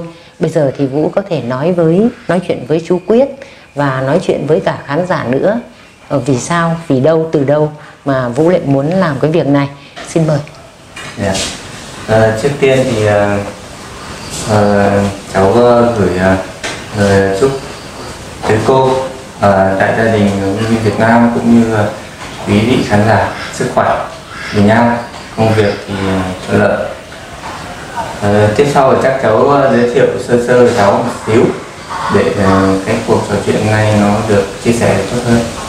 Thì cháu tên là Dương Thừa Vũ năm nay cháu 32 tuổi. Cháu tốt nghiệp ngành cơ khí chế tạo ra. Và bây giờ cháu có một cái phòng scan 3D và phòng thiết kế của cháu là chuyên à, sao chép và thiết kế ngược. Ừ, thì cái về cái um, lý do mà hôm nay cháu đi với chương trình mình thì là cháu xem xong cái video của cô thì cháu um, suy nghĩ ngay là cháu sẽ muốn làm cháu muốn làm một cái gì đấy cho chú quyết thì về cái nội dung cái video đó thì um, nó cũng có cái rất nhiều cảm xúc đối với cháu. Thế là cháu ờ, nên tưởng ngay vấn đề là bản thân giờ cháu đang có, cháu đang nắm cái về công nghệ về tạo mẫu nhanh cháu lại có máy scan, có máy tạo mẫu nhanh thì cháu nên tưởng ngay vấn đề là thiết thực nhất. Tiền thì cháu không có nhiều đâu. Vốn cái cháu đang có ở đây là công nghệ và cái việc làm của cháu nó có được đủ hay không? Thì cháu nên tưởng ngay vấn đề là chú đang cần có cánh tay hoặc là cái chân giả cái chân để chú có thể là hoạt động những cái việc hàng ngày ví dụ như là cầm ly nước hay là cầm cái vật đồ gì đó lên rồi thả xuống cái thao tác đơn giản thôi. Thì xuất phát từ đấy cháu liên hệ với cô để, để có cái ngày như hôm nay. Và cái kết quả là mình có cái sản phẩm tay cho chú ấy à, được sử dụng. Rồi rất là cảm ơn em. Rất là vui mừng thứ nhất là cũng thay mặt gia đình là xin cảm ơn Union Việt Nam. Thay mặt gia đình xin cảm ơn cháu Dương Thừa Vũ là những người đã hôm nay về với gia đình. Trước tiên tôi xin cảm ơn. Đấy là lời nói lời đầu tiên. Nhưng trong cái việc um, hôm nay cũng như cái lần trước thì cũng báo cáo với anh nhưng là rất thông cảm cho là một việc này.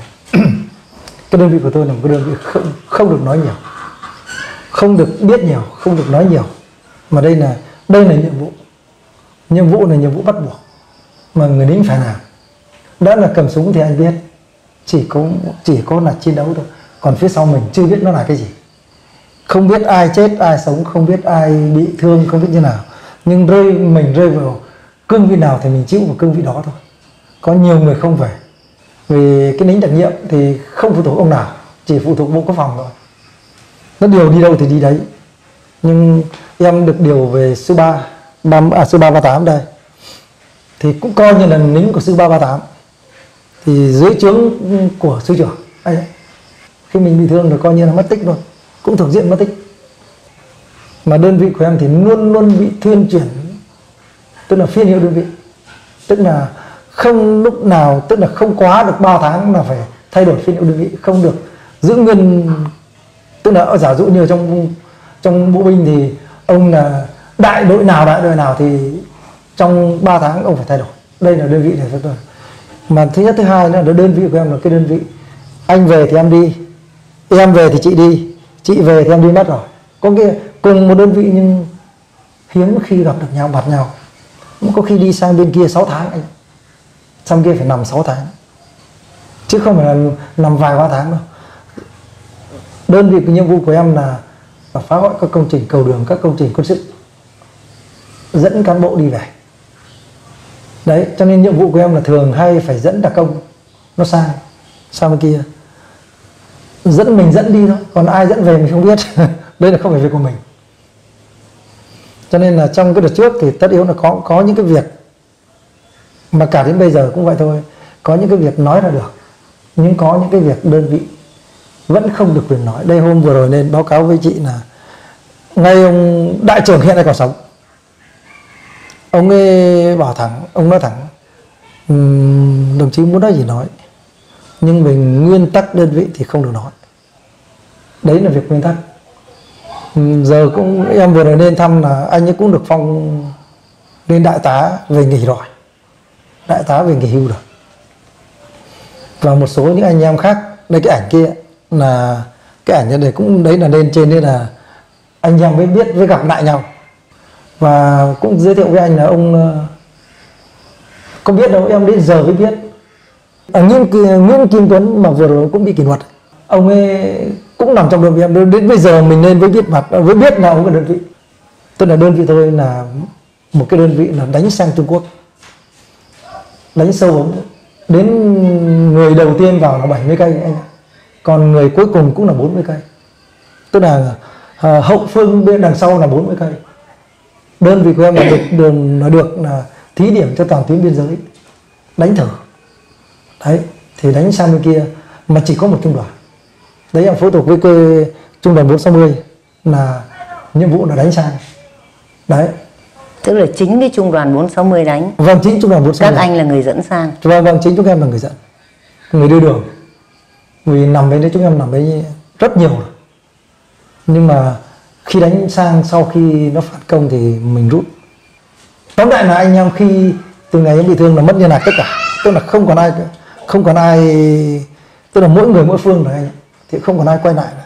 thì em cứ nghĩ là thôi giờ mình về với hậu phương rồi. Thì cũng gọi là an bài. Ai về cuộc sống người đấy, đấy về cuộc sống đời thường rồi. Thì cũng chỉ là đến thế thôi thế cho nên là hôm vừa rồi mới nên cái tay mà trao cái huy hiệu cho em này. Là đại tá sư trưởng là trực tiếp về trao. Là ông có nói một cái câu là, ngày xưa tôi là lính của anh. Thì bây giờ cũng không biết anh là như thế này. Nếu biết anh như thế này thì khả năng sư đoàn không để anh như thế này nữa. Không để anh khổ như thế này bao nhiêu năm. Nhưng mà bây giờ nói cho cùng thế này này anh cũng các anh và các chị thông cảm, đây là giai đoạn quấy rồi. Thời gian ngắn rồi. Cái quỹ thời gian của anh em mình, nó nó nó thấp đi rất nhiều rồi. Cho nên là thực sự ra mà nói thì tôi cũng không có đòi hỏi gì hơn nữa là tôi chỉ bảo là, đấy, tôi không kể công. Chiến công của chúng tôi thì rất nhiều. Cũng như là chị thông cảm tôi nói trước có một cái cái lần trước tôi nói mà. Anh cũng là người lính, chị đấy cũng là người lính tôi là người lính khoác áo lính khi ra trận thì chẳng ai nghĩ đến cái sống và cái chết. Cũng chỉ biết mình hoàn thành nhiệm vụ chứ còn không phải là nghĩ và sống hay mà chết. Người không có bản thân gia đình em là ba bốn anh em đều là đi bộ đội. Mà cái nàng này là cách mạng anh ạ. Ai mà đảo ngũ thì xấu hổ nó nhục nhã cái nàng này là cộng sản. Đấy, cho nên là đi bộ đội một là chết, thai bị thương, ba là về đàng hoàng còn ông nào mà à, nhớ vợ nhớ con ngày xưa giống mỹ mà nổi về tí thì về đến cái nàng này thì khổ lắm anh. Người ta xỉa sói cho. Đến đời chúng em đi là xác định đi là đi bộ đội là đi bộ đội và về là về. Chứ đừng nằm mơ cái chuyện thích là đảo ngũ đâu không có đâu. Đảo ngũ đơn vị thì được nhưng đảo ngũ ở về đến nàng thì nhục lắm. Trong cái, cái câu chuyện thì nó cũng xoay quanh là cái người lính của anh em mình thôi. Nhưng còn cái cuộc sống của chúng em thì bây giờ thì chắc là anh về đây cũng biết. Tất yếu là bị thương nặng hơn thì tất yếu là có cái thiệt thòi hơn. Qua cái ngày hôm nay thì đấy cũng như là cháu Vũ về đây, thực sự em cảm động. Một cháu tuổi còn trẻ, nhưng thực sự đã đã làm cho em những cái những cái việc làm quá tầm, tức là quá tầm và quá sức. Tôi cũng như em nói, em, Tuấn khi vừa rồi em lên, trung tướng em lên em mới biết đấy là người đơn vị đấy chứ có biết đâu chỉ biết mặt được một vài thằng tức là lính cùng tức là nó hay gần mình thì biết mặt nó bảo ôi mày còn sống à? Tao nếu mà không có cái uy nguyên Việt Nam thì có lẽ chúng ta cũng coi như là mày đã chết từ lâu rồi. À thế là họ xem cái win win vâng vâng ạ cũng cho nên đấy đấy cho nên là người ta mới tìm về và xong là đây là tay sư trưởng. À vâng. Vâng đây tay sư trưởng đấy Đây là sư trưởng. Vâng. Ừ. cũng cũng Tức là cái hội này Cái hội này là cái đơn vị của anh đấy à? Vâng đây toàn bộ đây là đơn vị ạ. Đây là đơn vị. Vâng vâng. Cái đơn vị mà nằm với sư phối thuộc với cho sư ba ba tám vâng. Vì là có một ông nằm ở đây nhưng không được quyền nói không được quyền biết. Không tóm là không được quyền nói ra. Cho nên với đưa sư ba ba tám về để, để tức là mở cái cái đại hội này. Là để trao cho chúng em cái huy hiệu chiến sĩ biên giới bảo vệ biên giới kia tức là đơn vị là ý ông Đơn vị của anh là muốn biết là đơn vị nào. Không ạ muốn là tách muốn là nói ra sự thật. À. nhưng mà người ta không cho. Không đồng ý. Không đồng ý. Đấy sư- hiện nay sư trưởng sư ba ba tám chắc chắn là bởi vì trong cái tình hình thì cái tình hình chung nó còn còn đang phức tạp. Nó còn nhiều vấn đề lắm. Em chẳng biết gì đâu. Nhưng mà hôm nay em lại nói lại một câu là đây sư trưởng này nói với chúng em một câu là chúng tôi biết công của các đồng chí rất lớn nhưng thực tế các đồng chí chấp nhận thiệt thòi. Thì phải chịu thôi. Mình là mình là lính. Cứ nói thẳng mình là người lính. Không có quyền. À, chú quyết đợt vừa rồi chắc cũng có theo dõi cái tình hình biển đông. Vâng vâng theo dõi suốt ạ. Theo dõi rất chặt chẽ Vâng. đúng không? Vâng. và anh thấy thế nào? Nếu như em nếu như em cho em phân tích con chị còn còn chúng ta ngồi đây, thì Trung Quốc chưa đánh được Việt Nam đâu. Chưa đánh được. Cũng như cái thằng, anh em mình cứ nói thế này, cái thằng nghiện này anh, nó cứ đến đâu, quấy nhà chị thì nó không vào nhà, nó cứ quấy bên ngoài. Nó chỉ quấy thôi, rồi nó làm đủ trò. Tức là đào cây nọ bán rồi kiếm cây kia vậy thôi. Chứ còn bảo vào nhà chị thì không dám làm những cái việc to tát đấy là Trung Quốc chỉ em cho chỉ là những thằng nghiện trừ cái hình thức đó. Còn làm cho ta tổn thất về kinh tế thì cái đó có. Chứ còn đương đầu, anh yên tâm, anh là, nếu anh là lính, anh ở thời phía bắc, thì anh biết. Nếu như đánh vào thời đó, em khẳng định Trung Quốc không bao giờ đánh được Việt Nam. Chứ còn ông ấy đánh bằng vũ khí đại như thế nào thì em chịu không biết đến thời bây giờ mình chịu, nhưng mà với thời đó, lính Trung Quốc không dám đánh như lính Việt Nam rồi cái thằng lính bộ binh Việt Nam, nó đánh, nó gấu nó đánh bửa chứ nó không đánh như kiểu cái ông lính Trung Quốc đâu. cái đơn vị 460 của em em nói với anh, nếu chị là Uyên Việt Nam, chị đã lên biên giới, lên bản chắc lần nào chưa thì không biết, nhưng chị nên đến đấy thì chị đã, chị nghe thằng lý trung phẩm, đơn viên ấy. Một mình ông có bảy thằng mà nó đánh, suốt một ngày từ 5 giờ sáng mà tới 3 giờ chiều mới mất chốt, mà nó đánh, có 7 thằng nó đánh với một, nó lên mũi nhọn là một tiểu đoàn. Còn thường nó lên tới lên tới một trung đoàn thì anh anh đếm với hội em là đại đội 120 tiểu đoàn khoảng 400 nếu nó đủ thì khoảng 400 mà trung đoàn thì anh đếm đi, cỡ độ hơn nghìn lính đủ. Bảy thằng mà đến 3 giờ chiều mới mất chốt. Thế là cái tổ đấy của họ là hy sinh hết à? Vâng. Đây. Thế thì bây giờ là nếu muốn tìm về cái câu chuyện của họ thì thì làm sao tìm ở đâu? Chị về nếu chị về được hiện nay sư đoàn thì hiện nay vẫn đang nằm ở An Châu.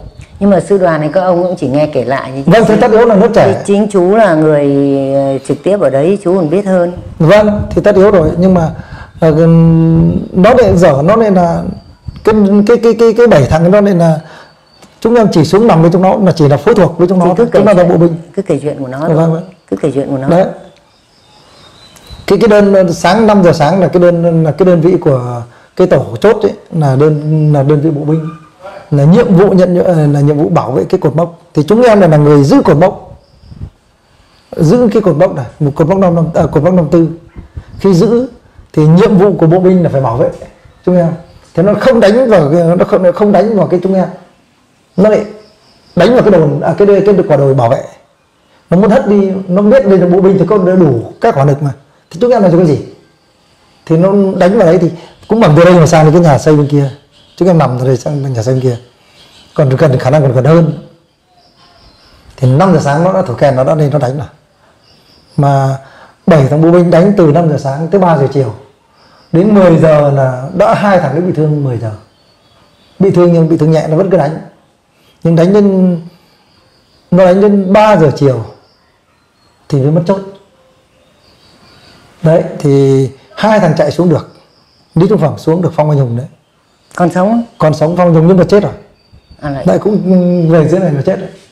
Dân tộc săn trí tức là tôi dần ở bắc. về là chết là về đời thường rồi về, về không về sau về về ấy về về bệnh viện là chết. À, phong anh hùng ngay lúc đó. Tức là ngay khi lúc xuống xưa bị, thương xuống. bị thương xuống thì sau đó là hy sinh ở bệnh viện. Vâng xuống viện là chết thì em chỉ biết là nó chết chứ chỉ biết là nó chết rồi nhưng không biết là nó chết ở viện nào. Thì chị có nghĩ cũng như em ấy nằm viện quân chín ba hai năm trời. Hơn hai năm trời mà cũng có ai biết là sống hay chết đâu.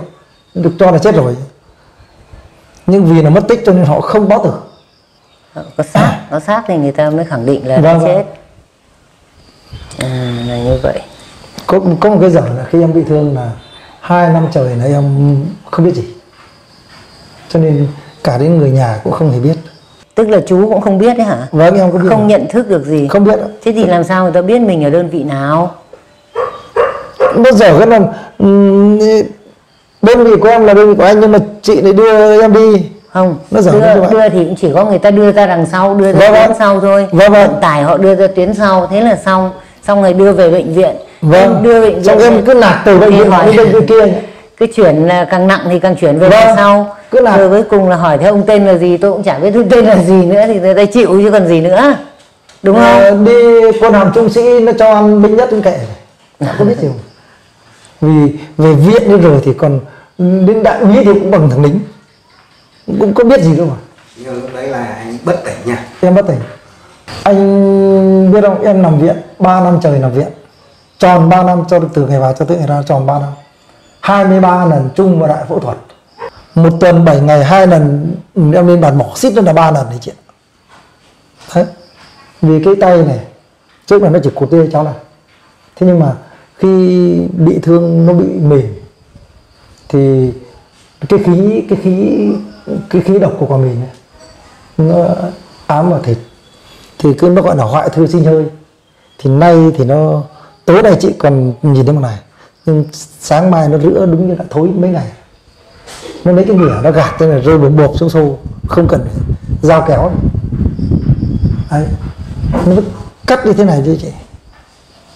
Cái khi mà nằm ở trong bệnh viện cho đến lúc mà anh bắt đầu nhận thức được ấy thì là bao nhiêu lâu? Thực sự khoảng chừng không rõ nhưng mà lại để cũng khi biết được thì đã nhiều người ra và nhiều người vào lắm rồi. Mà tóm lại hơn một năm rồi. đấy, khi em biết được, tức là nhận thức được ờ, anh, ví dụ anh là anh tên này là gì? Ví dụ nhớ được trong đầu. Hay là chị, tên là yến thì nhớ được trong đầu. Hai mắt em mù chứ ừ. mù hai mắt, cụt hai tay một chân. Chứ bây giờ còn nhìn thấy đeo kính đây mà còn nhìn thấy một tí. Chú còn có một phần mười. Mắt là còn có một phần mười. Cái mắt bên phải là không phải mắt của chú. Mắt của thằng thương binh khác- à của thằng liệt sĩ khác. Ông ấy chỉ nói là, ông bảo là nếu mày tồn tại, nếu như em tồn tại, nếu cái mắt này sinh hoạt điều kiện tốt nghỉ ngơi tốt thì sẽ tồn tại được khoảng từ 10 tới 15 năm là cùng. Nhưng mà bây giờ 81 mổ anh ạ mà đến bây giờ thì không biết là một vâng ạ đấy là một. Hai là tay giáo sư nhân đấy nó bảo thẳng mổ như thế này anh bảo thật chú chú chỉ sống được 40 năm là cao thủ lắm này. À 40 tuổi đến 40 tuổi là cao thủ lắm này. Không có sức để sống hơn nữa đâu. 23 lần mổ đại phẫu thuật chị ạ chung một đại phẫu thuật chú vậy là hai lần đóng góp đấy. Còn đóng góp cho y học nữa. Chính nó và anh chị Hà Nội cái đóng góp đi học thì nhiều nữa chứ đóng góp cho y học nữa đấy. Cái tay này công cũng làm từ nước ngoài về cháu ạ. Công cũng làm cũng là làm bừa chứ. Cái tay này là của ông Crocampe người Tiệp Khắc ông nghiên cứu ra lúc đó nhưng mà chỉ trên dụng cụ. Chỉ trên sách vở thôi. Nhưng mà ông đợi ông ấy là giáo sư tiến sĩ học viên đấy về thì ông có có những đề là nào nào tức là sáu em thì có nghĩa là được đâu được có hai. Là người làm được à, người người làm được. Bởi vì thế này em cứ cho là không biết gì gì nhưng mà chói vào mà đánh thì khen tay chữ đòn đấy tức là mình chỉ còn có mỗi chỗ này thôi. Cố gắng mà tập cố gắng mà làm cố gắng mà tận dụng làm sao phải được làm bằng được. Cố gắng tất cả cái gì cũng dùng hai chữ cố gắng nó gắn vào đầu. Em nói có anh chị chứ? Công vụ đưa đến bao giờ cho em cũng hai suất cơm. Cầm cái thìa là đầu tiên, em cháu cầm cái thìa, nó bảo xúc đi. Xúc thì có khi xúc thì xúc được rồi. Nhưng không biết cái, không biết cái kiểu gì để đưa vào mồm rồi không biết dơ kiểu gì. Mồ hôi một cái, được một miếng ăn thì mồ hôi một cái, anh phải ngang với anh vác ngoài kia mới ở đất. Không bằng em dơ một cái miếng cơm vào mồm. Nó cứ từ từ, bắt đầu nó rơi xuống cái nào mặt đến gần đến mồm thì rơi xuống nhiều đứa công vụ nó phải khóc con người. Nóng lên rồi bắt đầu gạt phát cho bay hết. Thì nó lại ắng nặng, nó lại đi bê sốt khác về cho. Nó cố gắng cho nên em nói thật với anh là cái công của em tập cũng là, cũng có, cũng là nhiều nhưng tất yếu, cũng có sự động viên của cả những cái người công vụ. Nhưng mà phải nói vào cái thời đó chị ạ. Cái giữa cái y bác sĩ và thương binh lúc đó, quý như người nhà, thân như người nhà còn có còn có nhiều cái việc còn quý hơn.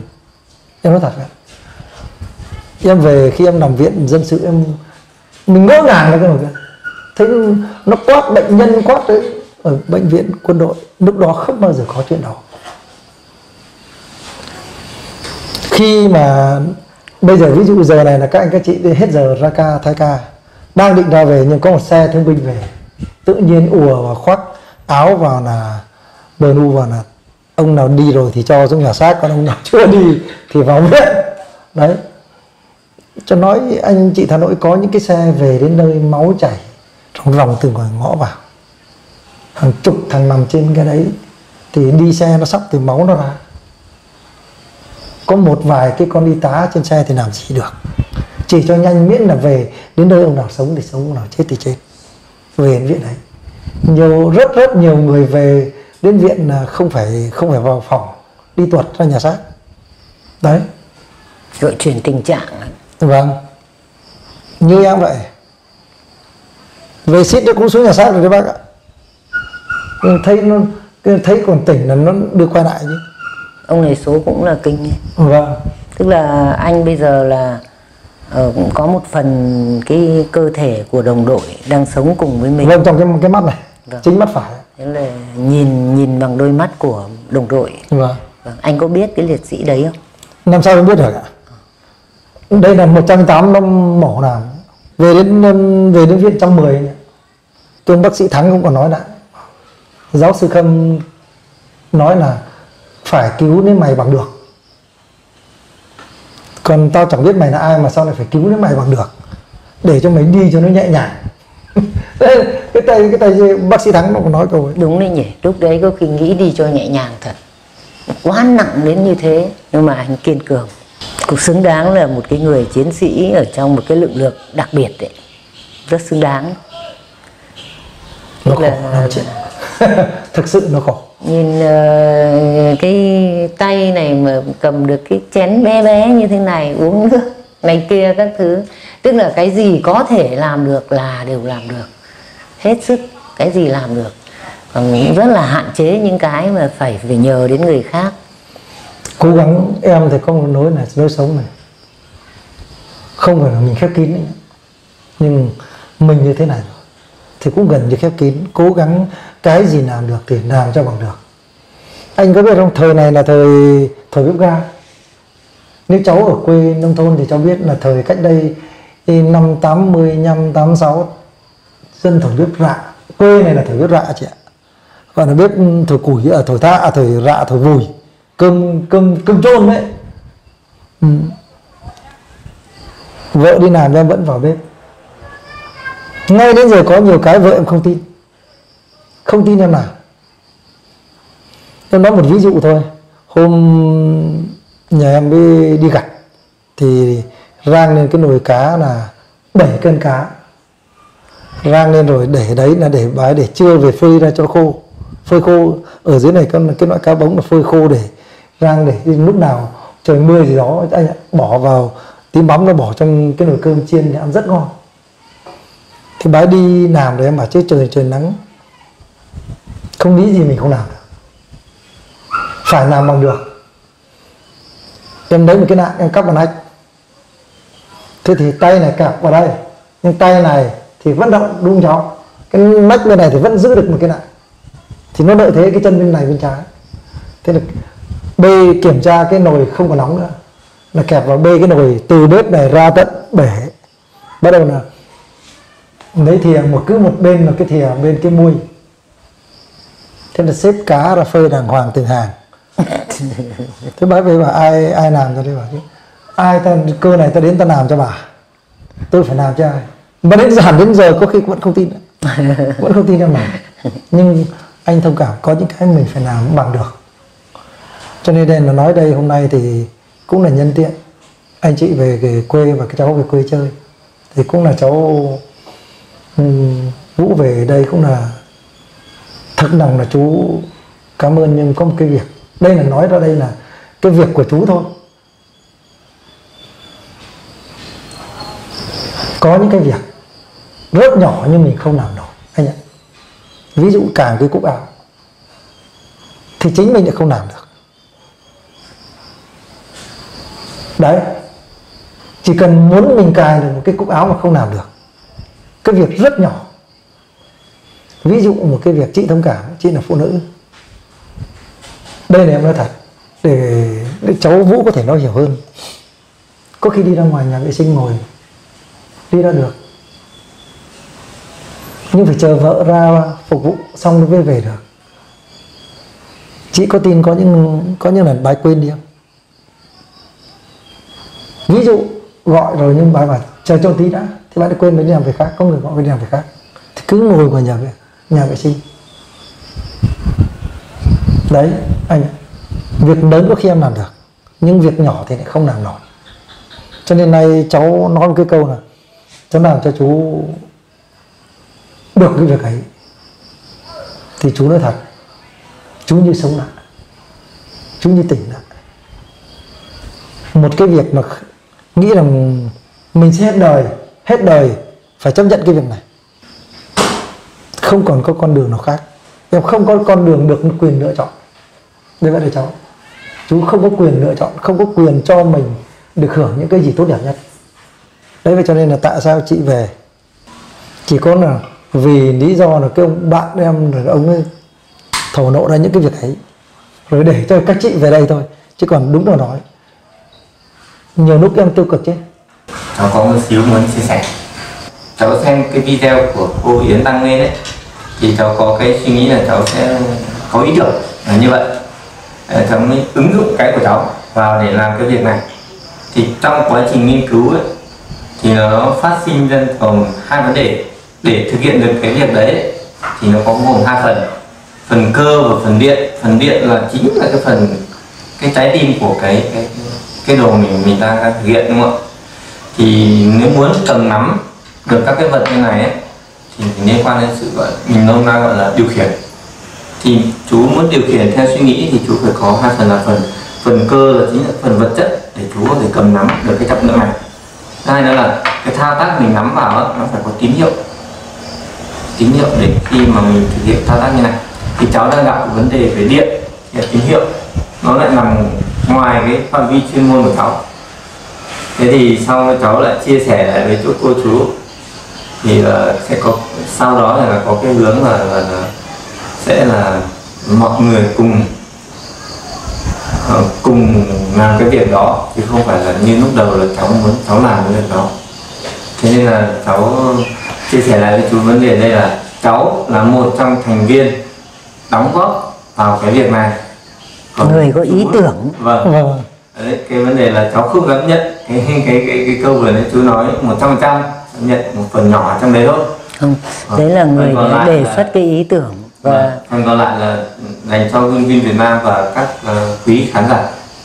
Ờ, lúc đầu là vũ nghĩ là vũ làm được nhưng mà đến khi thực hiện thì hóa ra là không được nhưng mà chịu khó lắm. Nó- cũng mất rất nhiều khó. thời gian vâng rất vẫn quyết tâm là tự làm. Thế nhưng mà sau đấy thì ờ, thấy là tôi cũng thấy là lâu và hỏi ông hỏi rất cặn kẽ mới dám chia sẻ chia sẻ ra như vậy thì thôi hai bên động viên nhau là bây giờ mình mỗi người một tay một chân góp vào. Thế thì nói chung đến bây giờ như thế cũng là ổn. Vâng. Mọi người tôi thì cũng thay lời thì Union Việt Nam là tôi thay mặt gia đình. Xin ờ, cảm ơn Union Việt Nam đã tạo một điều kiện cho gia đình tôi.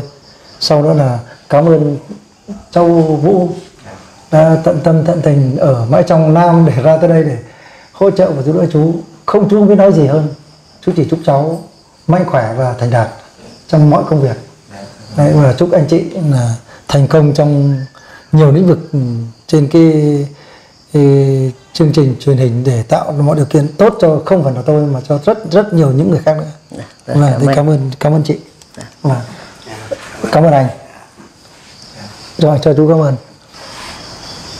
chương trình thì cũng đã xong tâm sự trao đổi cũng hòm hòm Và thay mặt cho chú quyết. Ô, cảm ơn vũ. Và trước hết là một cái ý tưởng rất là tuyệt vời và cũng rất là có tâm. Thế và cũng rất là mong công trình của chúng ta hoàn thành được. Vâng và ừm, phải quyết tâm thôi vì là ờ, với ờ, bản lĩnh của Win Win là không bao giờ bỏ dở giữa chừng bất cứ một việc gì làm tới nơi.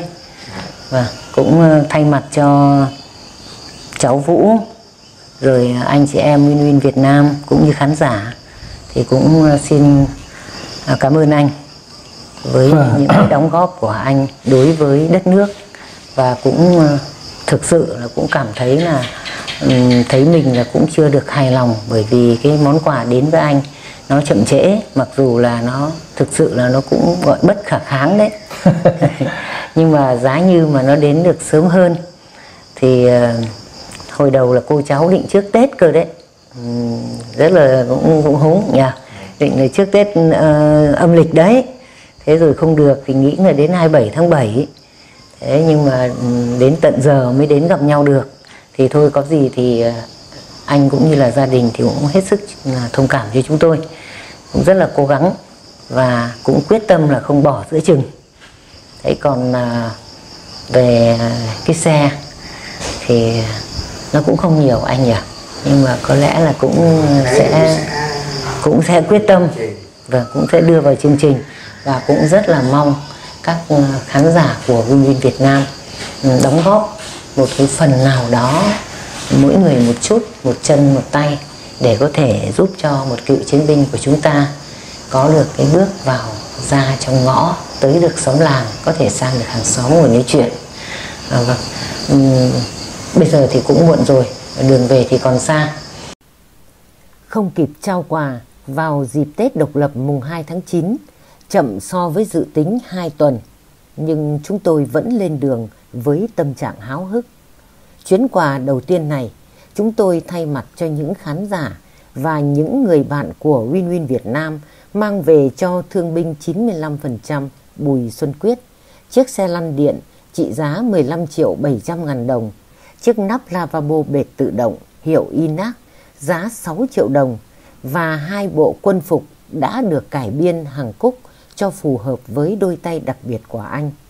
Chúng tôi muốn người thương binh mất cả hai tay, chỉ còn một chân, Bùi Xuân Quyết, được cải thiện hết mức có thể tình trạng của mình.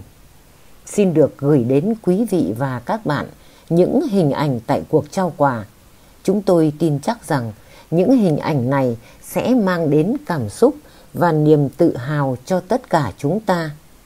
Về tình hình tài chính, cho đến khi làm video này, chúng ta đã có 66 triệu 598 nghìn đồng, mua xe lăn 15 triệu 700 ngàn đồng, nắp lavabo bệt 6 triệu đồng.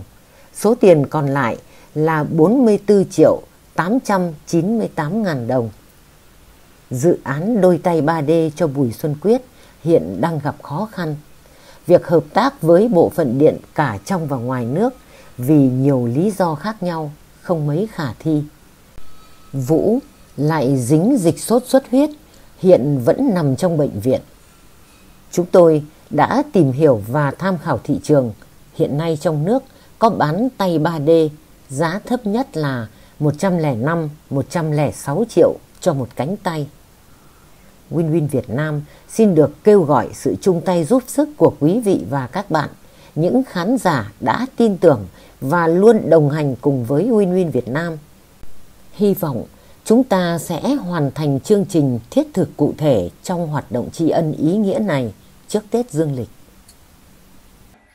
Đây là bộ quần áo mới của anh Văn Dũng tặng cho anh Bùi Quyết.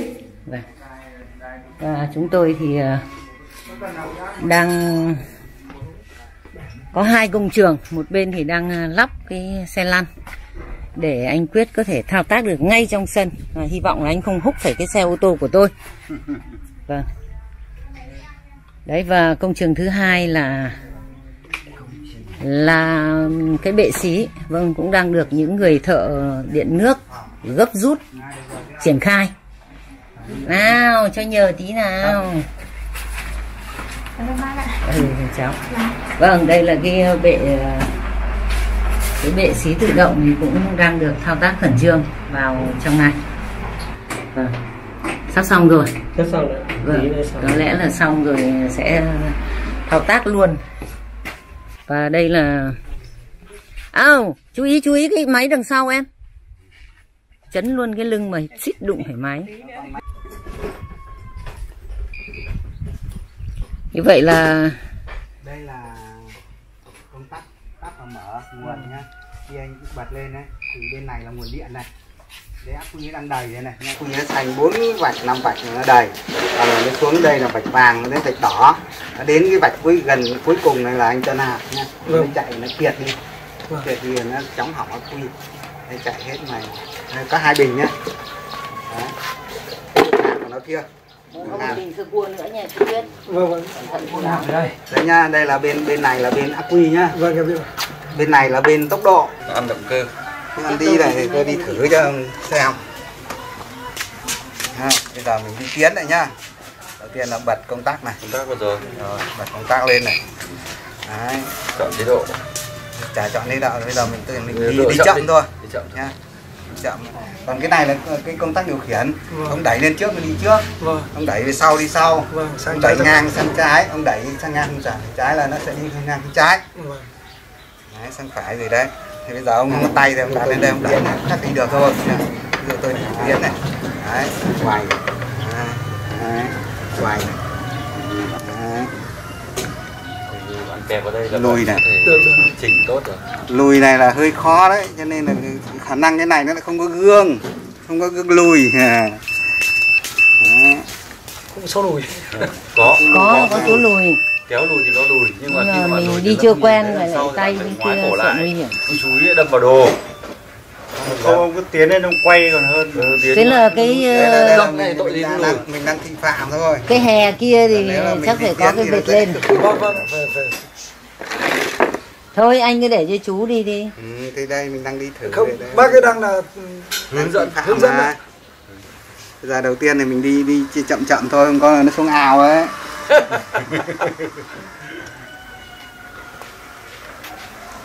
Khi mua là bác cũng thử hết ý. vâng. Mấy cái xe thử mấy loại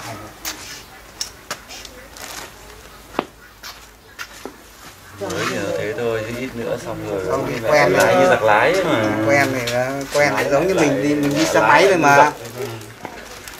rồi vài hôm có để trên này. Rộng không vài ông tổ chức đua thử xe. đi ra nào. Anh thử đi xong anh đi ra ngõ đi cho đi thẳng cái ra ngõ xong rồi đi vào rồi nó đội mũ lên Ông nắng chết mẹ luôn. À, đấy còn cái đôi nặng của ông ấy xong rồi sau ông được. cái xe ông phải để vào đâu? Em rồi lúc đó là em phải rồi tự thiết kế lại. Tự thiết kế chỗ để xe làm cái móc móc lên đây thôi Vâng, đi vâng. đâu móc lên đây. Đấy bây giờ thì cầm hộ ông ấy. À. cái này á thì hiện tại là bạn chỉ cần một chân đúng không? Đúng có rồi thể dạ dỡ bớt cái này ra cho đỡ vướng đúng không? Bây giờ bây giờ phải, bây giờ phải bật công tắc đã nguồn đã. Vâng vâng. Anh vẫn công tắc nguồn rồi. Cứ thẳng chú ý chú ý cái máy không? Không có chú lao phải máy đấy. Đẩy lên đấy. À đây cái mũ xanh ấy, Niêm à, mũ xanh bố ấy. Cùng với màu áo ấy. cứ thẳng. ông lúc đầu thì lắc vừa vừa thôi vâng vâng dây dây thế là nó cũng chuẩn. Anh cứ giữ anh cứ giữ cho nó đi. Vâng vâng. Đưa ra đi đua xe. Tổ chức đua xe xe lăn công thức một. Lái lái lái lái. Đúng đúng rồi. Quay tiếp thì con mạch quay máy với cái lúc ban đầu quay đầu lại đây quay cái đầu máy lại đây. Ờ, so lúc ban đầu đi có thể là hơi khó chịu một tí nhưng sau nó quen dần. Cảm giác thế nào cảm nhận thế nào đồng chí quyết? Thôi để. nó, nó chưa thực sự nó chưa quen tay. Quen từ xưa là chưa được bao nhiêu chục năm nay rồi đúng không? Nó có cái gì- tại sao nó lại giật giật giật là do mình ờ, mình nó rất là nhạy. Nó rất nhạy. Điều khiển nó chưa được mình đấy. Như giờ vợ đang cười phớ lớ xe điện đấy mà đi xe điện. Thế giật ghê lắm. Sau này là anh phải ờ, chú phải kiểu chủ động được cái tay ấy biết nó êm hay không rồi nó giật hay không là do mình. Thứ nhất là hiện tại là cái tay của bạn nó bị ngắn nên là khi nó với xuống nó hơi hơi ngắn đúng không? Nó hơi ngắn tay. Từ từ nhá từ từ từ từ. Xem có thể lùi lại được không? Từ từ xem nào. Lùi nó lại. của tôi cho nên nó hơi bị dài. À đấy thế này là có khi là lại ngon ngon đấy. Người ta thiết kế chỉ cho ông không chân thôi chứ người ta đâu nghĩ có ông cả không tay nữa có thể nói đây là những cái ờ, bước đi đầu tiên của anh Quyết trên chiếc xe lăn của chúng ta. Ờ, tôi rất tự hào với các bạn. Tôi rất tự hào về các bạn.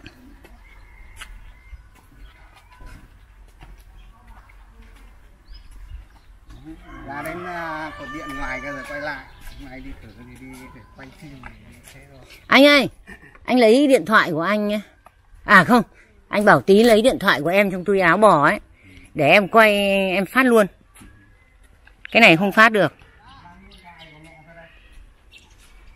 Rồi đây là bạn đi chơi xa được thoải mái. Điên cỗ được rồi. Đúng rồi. Nào coi chừng coi chừng. Dạ trong túi áo. Trong túi áo bò đây là bạn có thể là đi à, ăn cỗ Xin đi lỗi chị. chơi đi bời cuối đời năm ba năm ba không biết thời gian còn bao nhiêu nhưng giờ lại được tự do. Thế sao? Cứ lo còn bao nhiêu? Không nhưng mà đang đang nói là bây giờ là được tự do đang sung sướng rồi. Anh em mình còn bao nhiêu kệ nữa? Không có phải được đi ờ, cái này gọi là gì? Được đi ăn cỗ rồi. Cái quyền cái quyền mình đi đâu được quyền đi rồi? Vâng. thế là vui rồi chốc nữa quay vào khéo ông thuận tay ông lao vùn vụt đến nền. Chưa chưa dám. Chưa dám ạ. Tương lai chưa biết thế nào. Con quay con đang quay à? con đang quay à? tuần sau à lít chim à? Hiếu hiếu hiếu quay cho chị cái này. Quay. Quay. Quay quay trở lại đi ạ. Quý vị và các bạn thân mến, và bây giờ thì chúng ta đang nhìn thấy hình ảnh của ờ, đồng chí Bùi Xuân Quyết, cựu chiến binh thương binh nặng ở xã Giao Hương, huyện Giao Thủy, tỉnh Nam Định với chiếc xe lăn của những tấm lòng hảo tâm của các khán giả của Liên minh Việt Nam và bộ quần áo ờ, quân phục của anh. Rất là đẹp trên chiếc xe lăn. đầu nha. Để em thử quay được tự tự tự quay đầu. Tự Vâng. quay thôi. Anh ờ, anh Quyết nói là vâng có thể đây là những cái bước ờ, đi đầu tiên của anh Quyết được tự do từ bao lâu nay mà bỏ cái bỏ cái nặng ra. Và cảm thấy tôi trông thấy à, anh Quyết rất là rất là tôi dùng một cái từ gì được nhỉ? Thôi để chốc nữa cho anh ấy dùng. Ờ, ở đây thì các bạn có thể nhìn thấy là người đang quay phim phía trước mặt kia là Lê Hiếu. Và và chúng tôi đi từ sáng và mặc dù đây là lần thứ ba về đây tôi vẫn cứ lạc đường như thường. À, cái tay lái của anh Quyết là có vẻ như là đã thuần thục rồi nếu mà cảm thấy tự chủ hơn thì có thể đi nhanh hơn một chút cũng được. Lúc đầu thì cứ đi bình tĩnh thôi chú ạ. Ừ, lúc đầu đi bình tĩnh. Cười. Lúc đầu ờ, đi ẩu là mình quen sau này cũng đã máy đánh võng như xe có mấy buổi tập lái nhá anh thế thế xin lỗi anh là thế nào? Phải có ạ. Không thì nó không lái mà có người đi cùng á. Vâng. Đấy. à, có lẽ phải buộc cái dây thừng vào không có gì nhỡ không may quá đà lao ngao chết dở có người đi cùng này người ta các bạn đang nhìn thấy chiếc xe lăn của chúng ta đang lăn trên đường à, hướng này là đang hướng vào nhà anh Quyết vâng. Với bộ quần áo mới vâng. Sao bọn tôi mà đến thì có khi ông lại phóng xe? Nhưng mà ngồi là có vẻ vẫn đang thể không được thoải mái đúng không? Ngồi nghiêng một bên thế có mỏi không nó thì nó mỏi nhưng mà phải lên nhà anh chị thì phải đi lên đường cao tốc. Cao tốc là phải đội hai mũ bảo hiểm. Với một cái chiếc xe mới như thế này ừ, tôi cũng rất là muốn biết được tâm trạng cũng như cảm xúc của người chủ của chiếc xe mới. Cũng hôm nay cũng là rất mừng là có được tin là anh chị đã ừ, hỗ trợ cho em chính bản thân em chứ được một cái xe để tự do đi lại đấy là một hai là một cái bệ bệt để mình tự do sinh hoạt trong cái điều kiện mà mình không còn tay chân. Cách đây đã 40 năm rồi. Giờ coi như là có nghĩa là mình được quyền được quyền sống, được quyền tự do, được quyền đi lại mà không phải phụ thuộc bất cứ ai. Nên thay mặt gia đình và cá nhân em cảm ơn anh chị và bạn Hiếu. Đã có lòng, đã gửi tới em cái cái bộ đồ mà em rất ưng ý mà có lẽ đến bây giờ mới có mà khả năng phải cố không biết nhiều nhưng phải cố cố sống thêm dăm năm nữa. Để Ờ, ở đây thì tôi xin đính chính. Vâng. tức là đây không phải là quà của anh chị và chú Hiếu. Đây là quà của khán giả của Win Win Việt Nam. Và như lần trước về thì ờ, ban đầu là chúng ta chỉ có ý định là giúp cho anh Quyết có được cái đôi cánh tay nhưng hiện nay thì cái đôi cánh tay đang có rất là nhiều khó khăn. Và với nguyện vọng của anh Quyết trong cái lần gặp trước, thì ờ, chúng ta đã có một cái món quà, đó chính là cái ờ, xe lăn. Và ờ, thêm nữa phát sinh, đấy là câu chuyện mà, một câu chuyện khó nói, thì chúng tôi cũng đã thể hiện nó bằng một cái bệ bệt gọi là tự động để cho anh Quyết có thể tự do, cũng như là một cái bộ quần áo mà hạn chế được rất là nhiều những cái sự giúp của người khác tức là mình có thể tăng cái độ tự do cá nhân lên. Thì um, vâng à, hôm nay có mặt tại đây. Chúng tôi đã thay mặt cho khán giả của Win Việt Nam để được tặng món quà tình nghĩa này cho anh Quyết. Và hy vọng rằng từ giờ cho đến Tết, chúng ta sẽ có được um, cái cánh tay của anh Quyết. Thực ra thì cũng có rất là nhiều khó khăn. Từ cái ý tưởng ban đầu của cháu Vũ, thì uh, vì với cái việc là tự thiết kế, rồi tự làm phần cứng sau đó kết hợp với một đơn vị khác để làm phần mềm. Thì chúng tôi đã liên kết với rất là nhiều các cái ờ, tổ chức ở trong nước và thậm chí cả nước ngoài nữa. Nhưng đến bây giờ thì cái phương án đấy có thể nói là tới 80% không thực hiện được. Và chúng tôi thiên về cái phương án thứ hai đó là sử dụng một cái sản phẩm mà người ta đã bán giá thương mại. À, đó chính là một cái cánh tay điện tử có giá là 105 triệu là cái loại ít tiền nhất. Và bây giờ thì đang hướng tới ờ, tương hướng tới đó và hy vọng là với tấm lòng ừ, cũng như là sự quan tâm của quý vị thì ờ, trong một ngày không xa chúng tôi lại được vinh dự mang tặng cho anh Quyết một cái ờ, cái cánh tay. Ừ, bây giờ thì thực ra thì mọi lời nói nó đều đều rất nhiều nhỉ? Vâng. à, không tức là nó không tải hết được cái điều mà ờ, ví dụ như tôi chỉ là một người đại diện cho khán giả đem món quà lại đến đây hay là đại diện cho anh Quyết nhận những tấm lòng của các bạn. Nhưng tôi cũng cảm thấy trong tôi là một cái sự xúc động và cũng cảm thấy rất là trân trọng cuộc đời này. Ừ, thì tôi nghĩ rằng các bạn là chủ của dự án sẽ cảm thấy tự hào cũng như anh Quyết là người được ừ, thụ hưởng thì anh ấy cũng sẽ rất là xúc động. À, bây giờ thì chúng ta sẽ quan tâm đến một người cực kỳ liên quan đến vấn đề này đó chính là người phụ nữ đằng sau anh Quyết. Xin mời. hôm nay thì à, chị nhìn thấy em mặc à, đẹp nhỉ? À, không vâng. À, bây giờ là mình đang đứng ở trước màn hình. Và hôm nay chị thay mặt cho khán giả của kênh truyền hình Win Win Việt Nam ừm, mang đến tặng vợ chồng em một Vâng cái món quà nhỏ nhỏ xinh xinh. À, trước hết là như vậy đã. Thì à, chị cũng rất là muốn em chia sẻ cảm xúc cũng như là cái suy nghĩ của em với khán Vâng. giả Vâng, à, trước hết là em gia đình em và chúng em rất là cảm ơn à, các anh các chị và cùng với à, cộng đồng mạng thì đã mang đến cho nhà em một cái xe và một cái bệ thì chúng em không biết nói gì hơn nữa. Thôi thì chúng em rất cảm ơn các anh các chị. Đấy, này thôi có em được nghĩ, suy nghĩ của em như thế nào thì em nói được đến như thế thôi ạ. Còn thì cái này thì lại em lại phải nhường lại cho nhà em để cho nhà em nói với với chị. Vâng. Vâng, à, rất là cảm ơn em. Một người phụ nữ Việt Nam tảo tần Đã hy sinh cả cuộc đời của mình. Bây giờ có thể gọi là cuộc đời rồi Vì à, thanh xuân mà. À, Để chăm sóc một người chiến binh sau cuộc chiến. Và à, thậm chí dù là như vậy Thì cũng vẫn rất là khiêm tốn Xin nhường lời cho anh ấy. Vâng. À, Vâng, anh ấy thấy thế nào ạ? nói thật là bây giờ chị cũng thông cảm là cũng nó nghẹn nghẹn trong cổ. Chúng em rất là xúc động. Cũng rất khó nói. Thôi thì có như thế nào thì em cũng thay mặt gia đình và cá nhân em. Qua Win Win Việt Nam là gửi tới tất cả những người đã đóng góp vào nên cái xe và cái bệ bệt để cùng ủng cùng với Win Win Việt Nam để ủng hộ em. Thì thay một lần nữa xin cảm ơn sau nữa trước nhất vẫn phải nói là cảm ơn chương trình Win Việt Nam cũng như chị Yến và gia đình đã tạo mọi điều kiện để em có một cái cơ hội này. Em thật cảm ơn. Chỉ biết nói đến thế. Vâng à, lời thì rất ngắn nhưng mà ý thì rất là dài. À, và sau này thì chị sẽ gọi là báo cáo tài chính. Vâng. à, với em cũng như là với khán giả.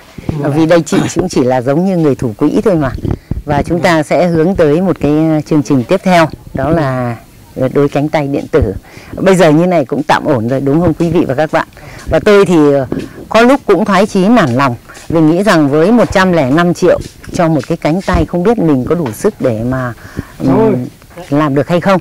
Cho nên là có lúc tôi cũng đã thoái chí nản lòng rằng là nếu như không thể làm được cái cánh tay đó thì ờ, toàn bộ số tiền thu được thì sẽ chuyển về cho vợ chồng anh Quyết là một cái ờ, một cái tài khoản nho nhỏ.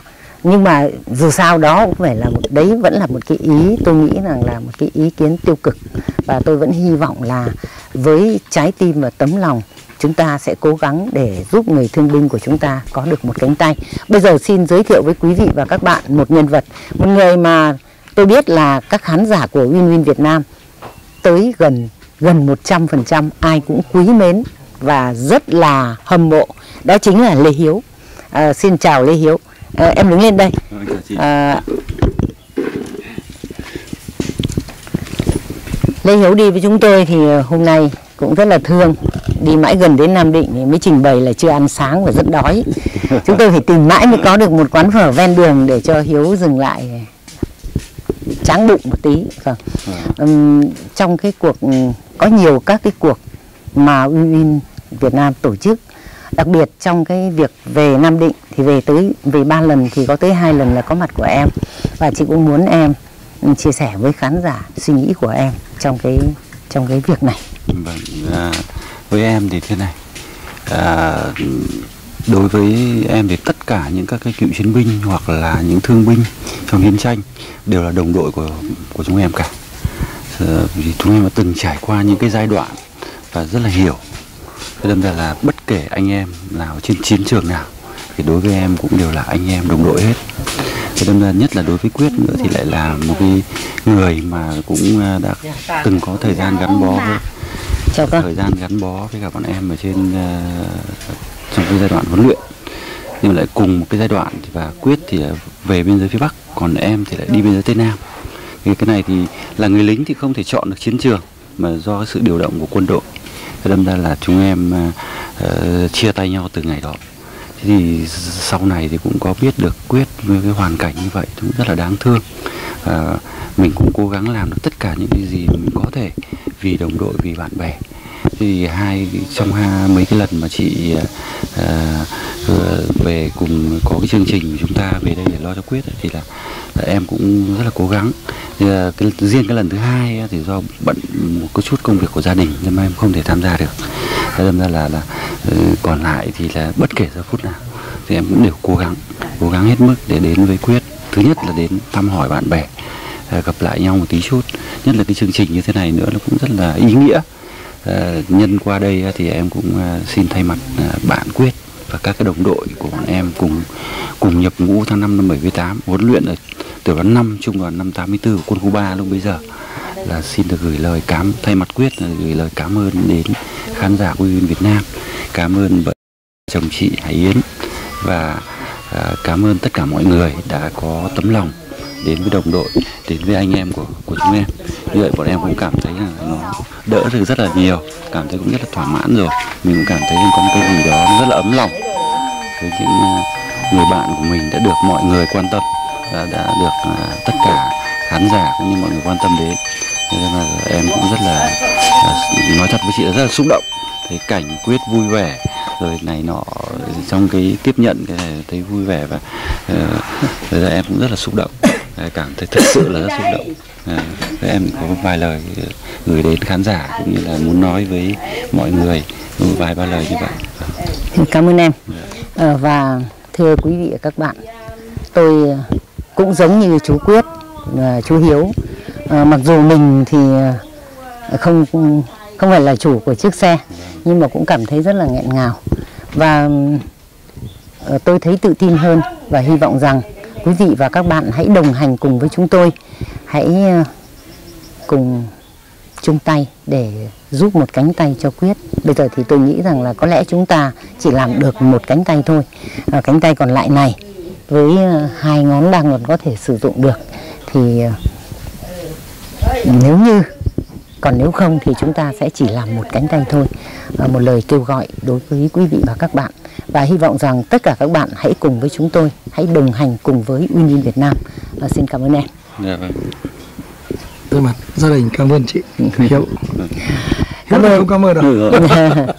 Cảm ơn ờ, quý vị và các bạn đã tham gia ừm, và theo dõi chương trình của chúng tôi. Quý vị và các bạn thân mến, một ngày cuối năm 27 tháng 12 năm 2019, gió đông bắc vù vù thổi, chúng tôi có mặt tại nhà thương binh nặng Bùi Xuân Quyết. Một món quà ân nghĩa được trao tận tay hai vợ chồng anh. Công trình nhỏ xinh của anh cũng đã hoàn chỉnh. Chị vợ díu dít khoe. Em đi vắng, anh ấy tự một mình được rồi chị ạ. Hai giờ chiều, hai vợ chồng vẫn nhất định chờ chúng tôi về để cùng dùng bữa cơm trưa. Thưa quý vị và các bạn, được sự ủng hộ chung tay của khán giả và bạn bè, chúng tôi đã nhận được 78 triệu 096 ngàn và 100 USD. Căn cứ vào tình hình thực tế, chúng tôi đã mua tặng Bùi Xuân Quyết một xe lăn điện giá 15 triệu 700 ngàn đồng, bệ bệt xí tự động điện tử 6 triệu, máy bơm nước tăng áp 1 triệu mốt. Tổng số tiền còn lại là 55 triệu 296 ngàn và 100 USD. Qua tham khảo một số hãng hiệu làm chân tay 3D, thấy rằng phần còn lại của cánh tay trái Bùi Xuân Quyết không đủ độ dài để thực hiện. Đối với cánh tay phải, hiện đang sử dụng khá hữu hiệu, nếu lắp tay giả cũng gặp nhiều trở ngại. Thứ nhất, việc tập luyện để sử dụng khá khó khăn, phức tạp đối với người lớn tuổi và thời gian tay bị gãy đã khá lâu, các mô không còn linh hoạt. Thứ hai, khi lắp tay rồi, phải định kỳ lên Hà Nội để bảo dưỡng, thăm khám. Đây là trở ngại lớn cả về kinh phí và khả năng đi lại của Bùi Xuân Quyết. Kinh phí cho một cánh tay là khoảng 80 triệu. Số còn thiếu có thể tiếp tục nhận ủng hộ, nhưng vì những lý do nêu trên, chúng tôi và Bùi Xuân Quyết xin được chuyển đổi mục đích vào việc hoàn tất khu vệ sinh mới có cùng cốt với phòng ở, buồng, bếp ăn để xe lăn có thể di chuyển được, coi như đó là món quà xuân đối với gia đình anh. Nhân dịp năm mới, xin thay mặt gia đình Bùi Xuân Quyết và cá nhân anh được gửi lời cảm ơn sâu sắc tới những tấm lòng vàng, những đóng góp ủng hộ về tinh thần và vật chất của quý vị và các bạn. Cũng xin được thay mặt cho khán giả của Uyên Uyên Việt Nam, xin chúc gia đình anh được vạn sự như ý, thật may mắn và vui vẻ đón mùa xuân mới.